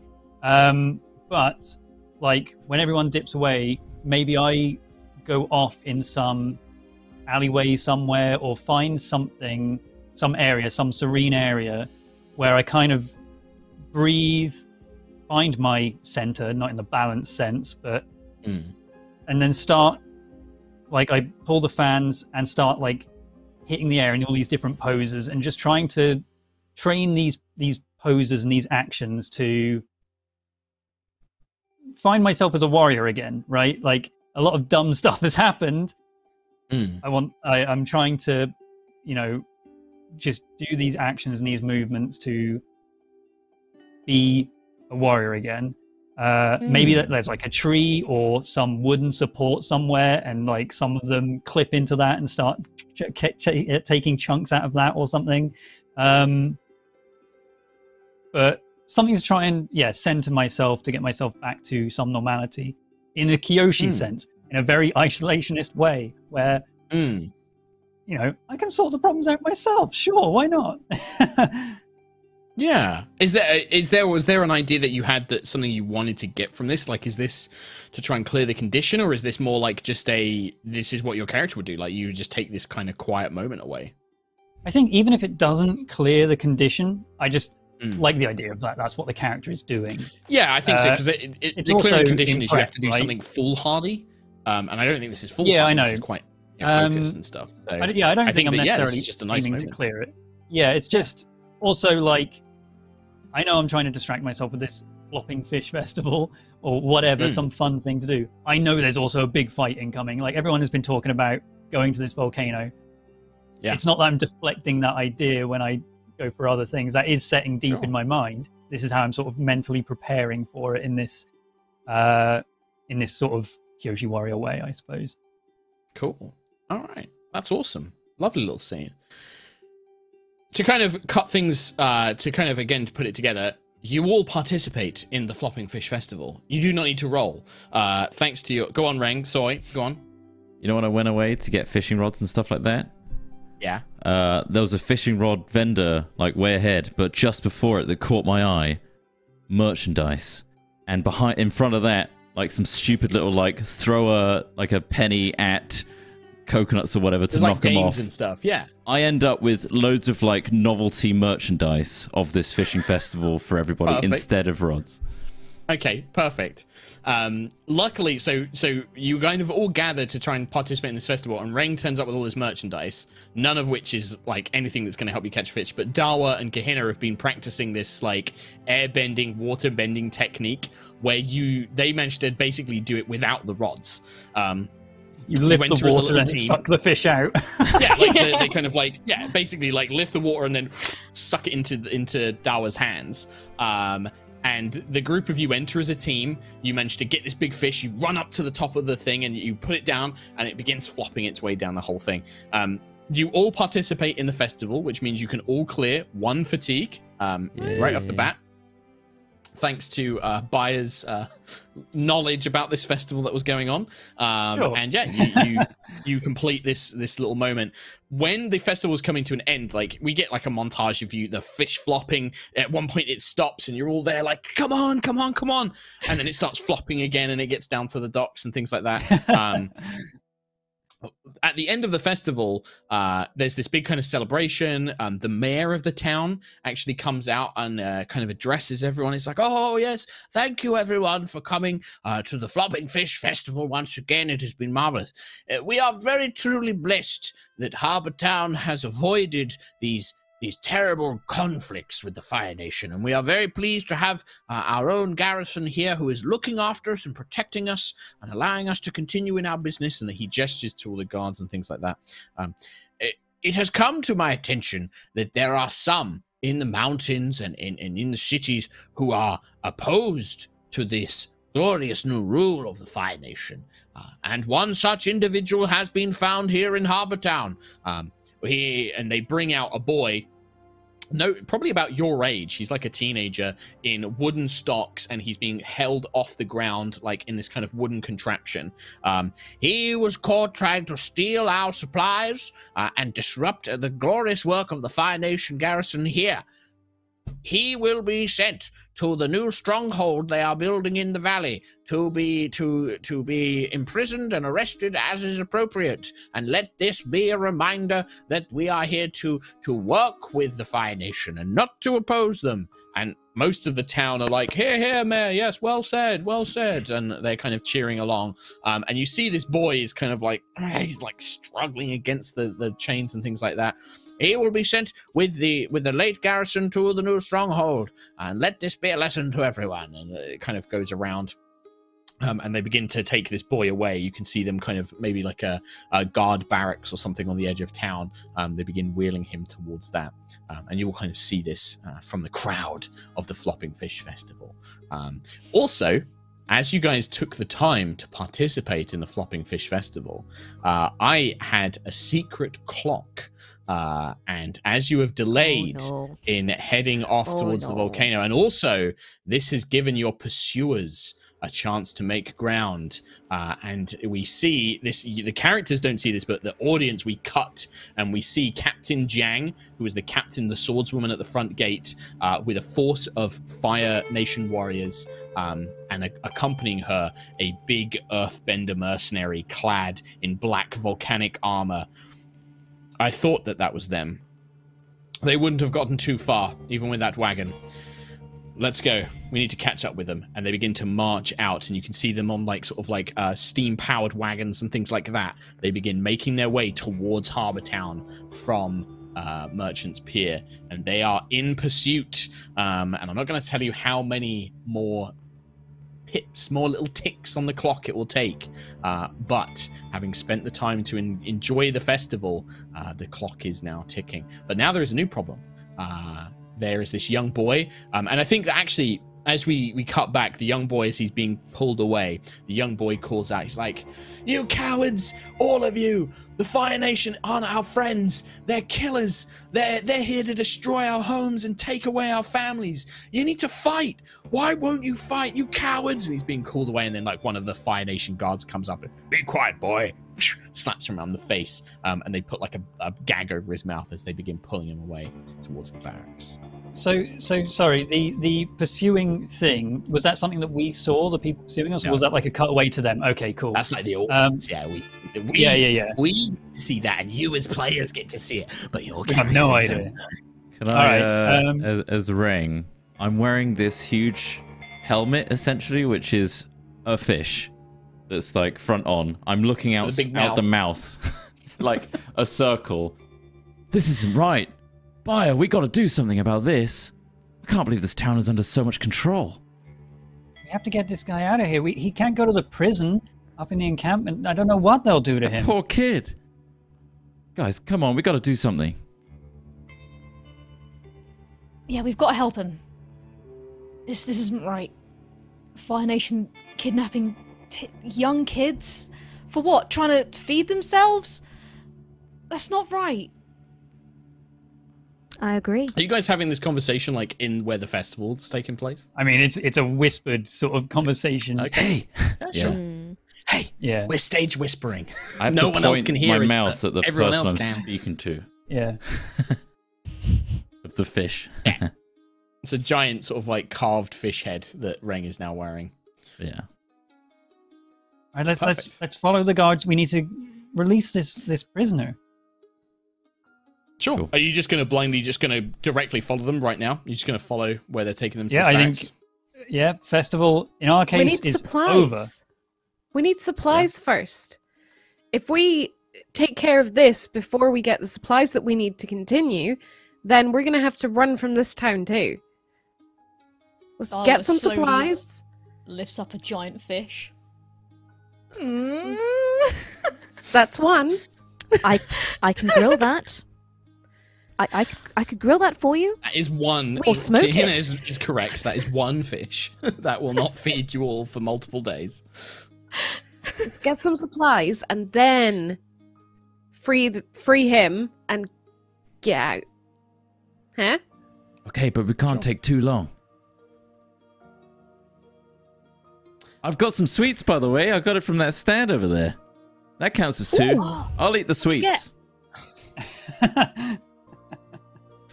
We really should have gotten some cabbages from that cabbage merchant. Oh well. Wait a minute.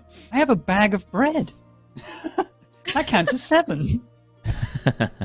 Do you um? So what's the plan here? Like, yeah. Do you want to spend time looking for supplies? Are you just going to go straight? So you can see that whilst this town isn't heavily occupied, there's still like a good fo- like squadron of Fire Nation soldiers, and they're clearly like, you know, they have this barracks. They've got this prisoner in there, this young boy. Like, you don't know how many. You don't know exactly how many Fire Nation soldiers there are here. You don't know. You know, Hmm. i- are there any firebenders? You don't know. You've just seen soldiers. Do we have any money? Um, I think the Song, your kind of resistance leader, would have given you some money, enough to buy supplies. The supplies will take you time. You'll have to go around and shop around and stuff like that. Um, so that will take some time. But the, you, I'd say you have enough money to buy enough supplies to complete your journey, but not much more. You don't really have like bartering money. You have like Okay. enough money to buy what you need. Um, Reng has spent his share on merchandise. in that case, you have not enough money. A bag Well, of I You Sweets. spent like Is a it? good chunk of your money on fish, flopping fish merchandise. But Dawa Which I. Did I we think is win perfect. anything? Oh, Did did we win anything in the flopping fish festival? Uh, you won applause, and it's a um, celebration of joy fix- and oh, I love. do love applause. Yeah, yeah. I live for the applause. I mean- won a fish. Well, i yeah. If your fish didn't reach, if your fish is in Rawa's Dawa's hands, it didn't reach the the sea, so you didn't win. it did Ooh, not did I flop its way into someone the else's water. fish? or you've snagged someone else's fish. Yes. Well, I mean, uh, I, I am all for going after this guy sooner rather than later, uh, right. finding out exactly where he's kept uh, before we just, you know, he goes into like some super heavily guarded prison somewhere before his uh, journey up to the pass. So Mhm. I don't Well, really the other want to thing do I'm it. gonna the other thing I'm gonna say is don't forget you guys can call on each other's balance principles. So, for example, here, Baya, if you wanted to try and convince Kehinna to like, no, we need to go and save this guy now, and we need your strength to do it. Like, I need, we need you to come and, and fight the Fire Nation. You could try Yeah. and, um, uh, you could try and call out Kehinna's force, which is one of her sides of balance. She has care and force. Um, and you're basically Um, calling them out to try and live up to that that experience. Vice versa, um, you know, I mean, Baya's, uh, you know, whole thing is is you, know somebody could like, for example, Reng, you could basically be like, no, Baya, we need to we need to focus like. We can't get caught up in another thing. Like you, we need to do this so we can get back home, um, and try and call upon, for example, Baya's role as as you know, as an icon to to be like, no, we this is. Although actually, I think your the whole Kyoshi Warrior thing is to try and protect people, right? Isn't it? yeah, ex- yeah, that's one the thing. things. Uh, yeah, I Um, feel That'd be like the I've, other way my- around. I've my doubled down on it. tradition involves providing aid and succor to the downtrodden and and Yeah. all of these different things, and also never running from a fight, but also at the same time never intervening without being asked to. So, hmm. Um, but I mean, I I feel like we have to rescue this person. Uh, so actually, I'm going to call on Dawa instead. Oh, Uh, because at the moment their balance is shifted towards action uh, Mhm. rather than forgiveness. So I'll be saying, yeah, we we have to go save this person right now. Uh, Before we know it, he'll be in the forces of the Fire Nation, and we can't do anything. He'll be in Exactly. some courier transport and in the middle of the, the pass, and there'll, there'll be no way we can save him. Who knows what they'll do to him? They, all right. they're merciless. Well, if by if you're actually going to call out Dawa's uh, action, I mean, seems Um, like Dar was actually agreeing with me. It is, It's but so so well, here's the thing, right? So when I was reading up on this, um, uh, you can basically uh, la, la, la, la, la, la, la. when you openly call on someone to live up to their principle, um, uh, shift your balance away from the center, then name and roll with their principle. Um, this is where I have to wrap my head around it because these are all like new mechanics. On a hit, they are called to act as you say. They must either do it or mark a condition.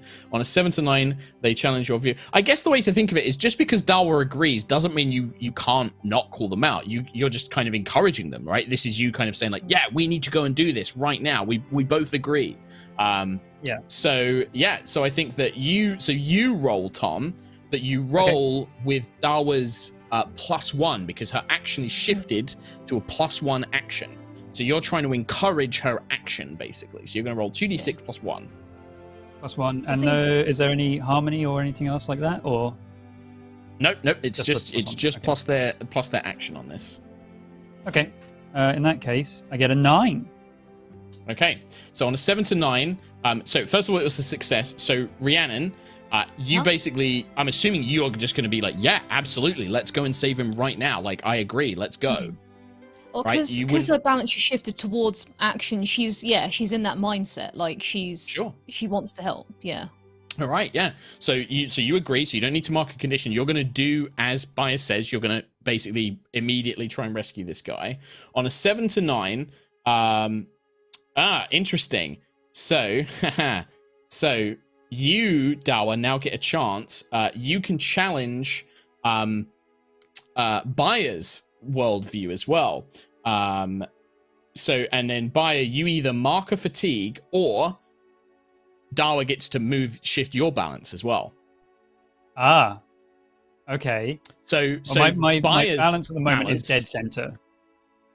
So Right. Baya's two options is role, which is to be a Kyoshi warrior, which is to protect and to help and to you know aid people, or freedom, Hmm. which is to not do that, to do whatever Baya wants. So you would be shifting them if you were like you could basically shift them to say like the same thing, like you're encouraging Yeah. them back, right? The, the Yeah, way you this are a works is like warrior you're egging these each other on, like yeah, Yeah. yeah, yeah, we need to go and do this, right?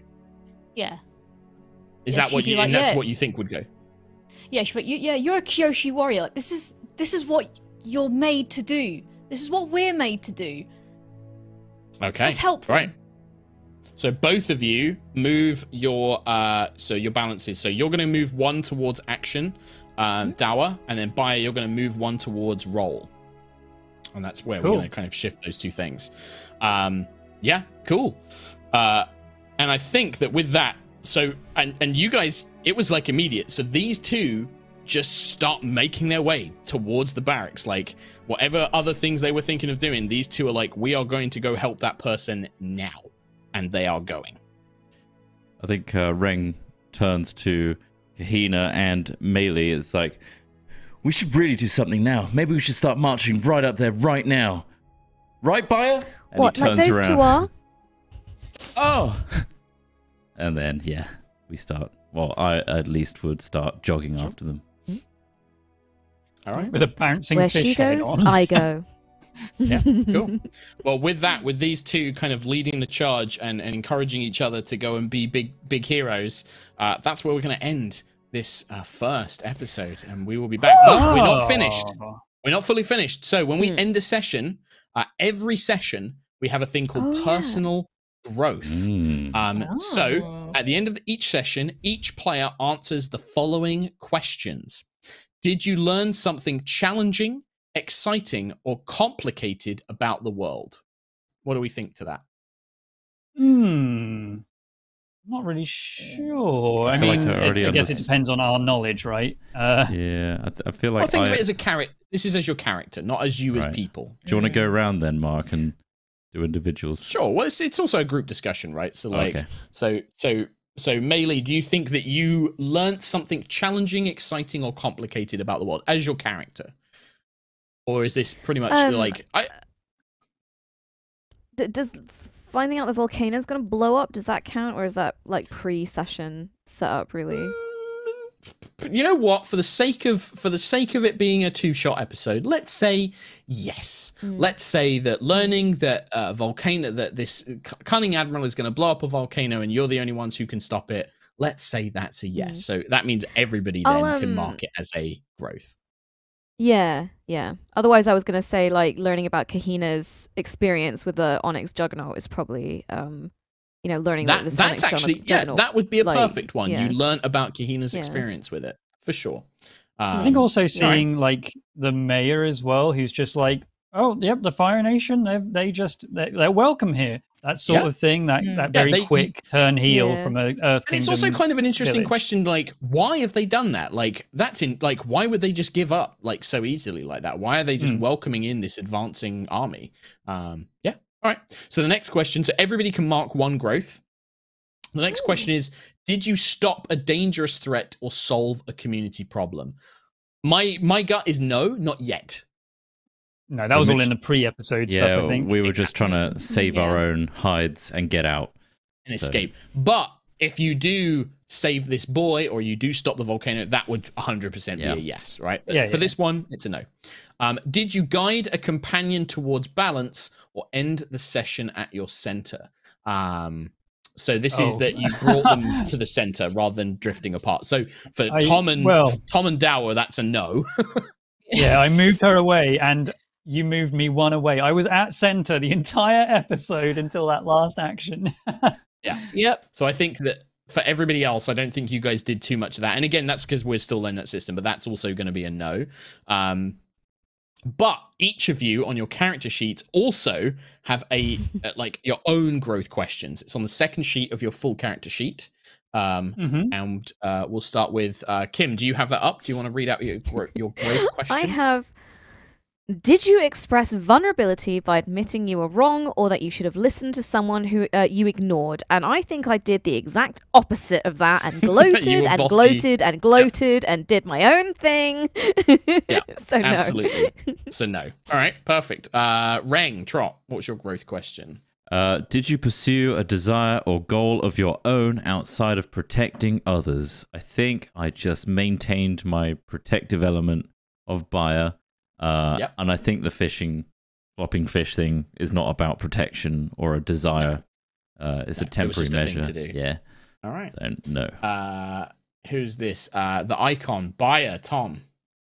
Uh, so my growth question is: Did I accomplish a feat worthy of my burden and tradition?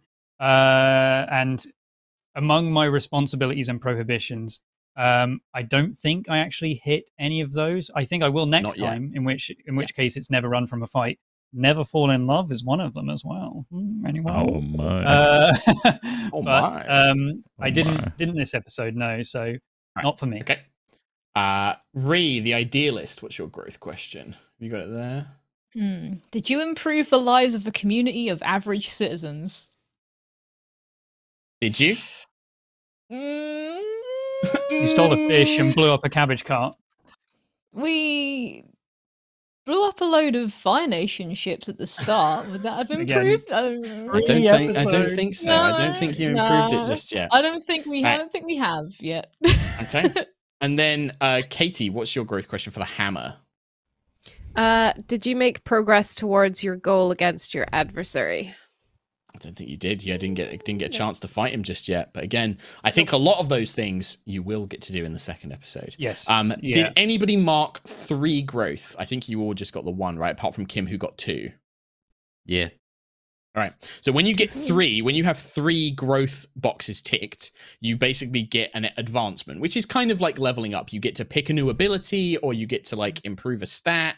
You get to do a bunch of stuff, and you're it is meant to take a bit of time for you to get these. Like you're supposed to do it in like two or three sessions. So um, don't worry too much about not getting all of those. But cool. Uh, with that, that is going to be the end of the session. Thank you guys so much for joining us for part one of Avatar Legends, the role playing game. Um, thank you very much again to Magpie Games for sponsoring this. Thank you, all of you, for coming and checking it out. Uh, we hope that people enjoyed it. We know it's a different system, there's a lot of different mechanics. I'm sure that uh, some of you are like, oh, wow, it looks amazing, but I couldn't follow it. You should go and check out the quick start rules, read up on it. Um, Yes. It is Yeah. very, very fun. It's very narrative, as you could see. There's a lot of kind of conversation. It's less kind of DM Yeah. decides everything and more like, how do we feel? What's this? What? What? This would be cool, wouldn't it? And then I was a lot less stuff. confused than I expected to be. I think Mm. it felt a lot more Yeah. flowing, Mm, which is nice. Yeah, I think it's something that again with practice, stuff like the balance pushing and pulling, that's something that I'm still getting used to. It's something we're all still getting used to. That little bit at the end of like showing it doesn't have to be just because somebody opposes. Like you can encourage each other to be like, That yeah, we should go and do this, Yeah. and then you This is go cool. off and go and do it. Right? Like, like it's that kind of stuff. Um, Cool. Uh, Yeah. apparently, chat is saying that they would watch a full campaign, or fail specifically said, "I'd watch a full campaign of this." We can officially write season three. So there you go. Wow. yeah, let's do it. Um, All right. yeah. Hey, when does the Kickstarter launch? Kickstarter launches next week. I've got to get my notes up again, Tom. Uh, Tuesday Kickstarter launches 3 p.m. UK time? uh, 3 Yeah, p.m. BST, UK time, yeah. 10 a.m. Eastern time um, on Yes. August 3rd, Tuesday, August 3rd. So it will be up when we do our next session next Thursday. Right. Um, Next so Thursday, Make sure you go 8 and check p.m. Same time. There you go. Yeah. The Use our link. Episode. use our link to sign up for the quick start rules and the Mhm. Yeah. Kickstarter notification as well. Um, and It, it might and- be go good to like have a little skim just so you know how this is working for our next session. It might be easier Yeah. to follow along. So Yeah, and it's also Yeah, like, read along as man, it's play. it's it's free RPG rules. You could download those quick start rules and play this with your own mates. Like, you know, Yeah, and like try. we- we've kind of shown here, you just need two d six and a character sheet. That's it. You you Yeah. don't you can just run it on like roll you know roll twenty or whatever you want to use. yeah. Um, very very easy to do. Cool. Well, Yeah. thank you very much, everybody. Um, I think any donations and stuff, what we might do is read them out on Sunday. So we'll include those with our with our Sunday uh, high roller stuff um, rather than doing Yes, it now. Because thank you very much, sponsored everyone. Stream. Thank you very much. If you subbed or if you Thank you. donated, um, we will read that out next time. Thank you very much, everybody. Good night, and we will see you all on Sunday and then next Thursday for more Avatar Legends. Woo! Woo! Bye, everybody. Bye. Bye. Thank you very much. Bye.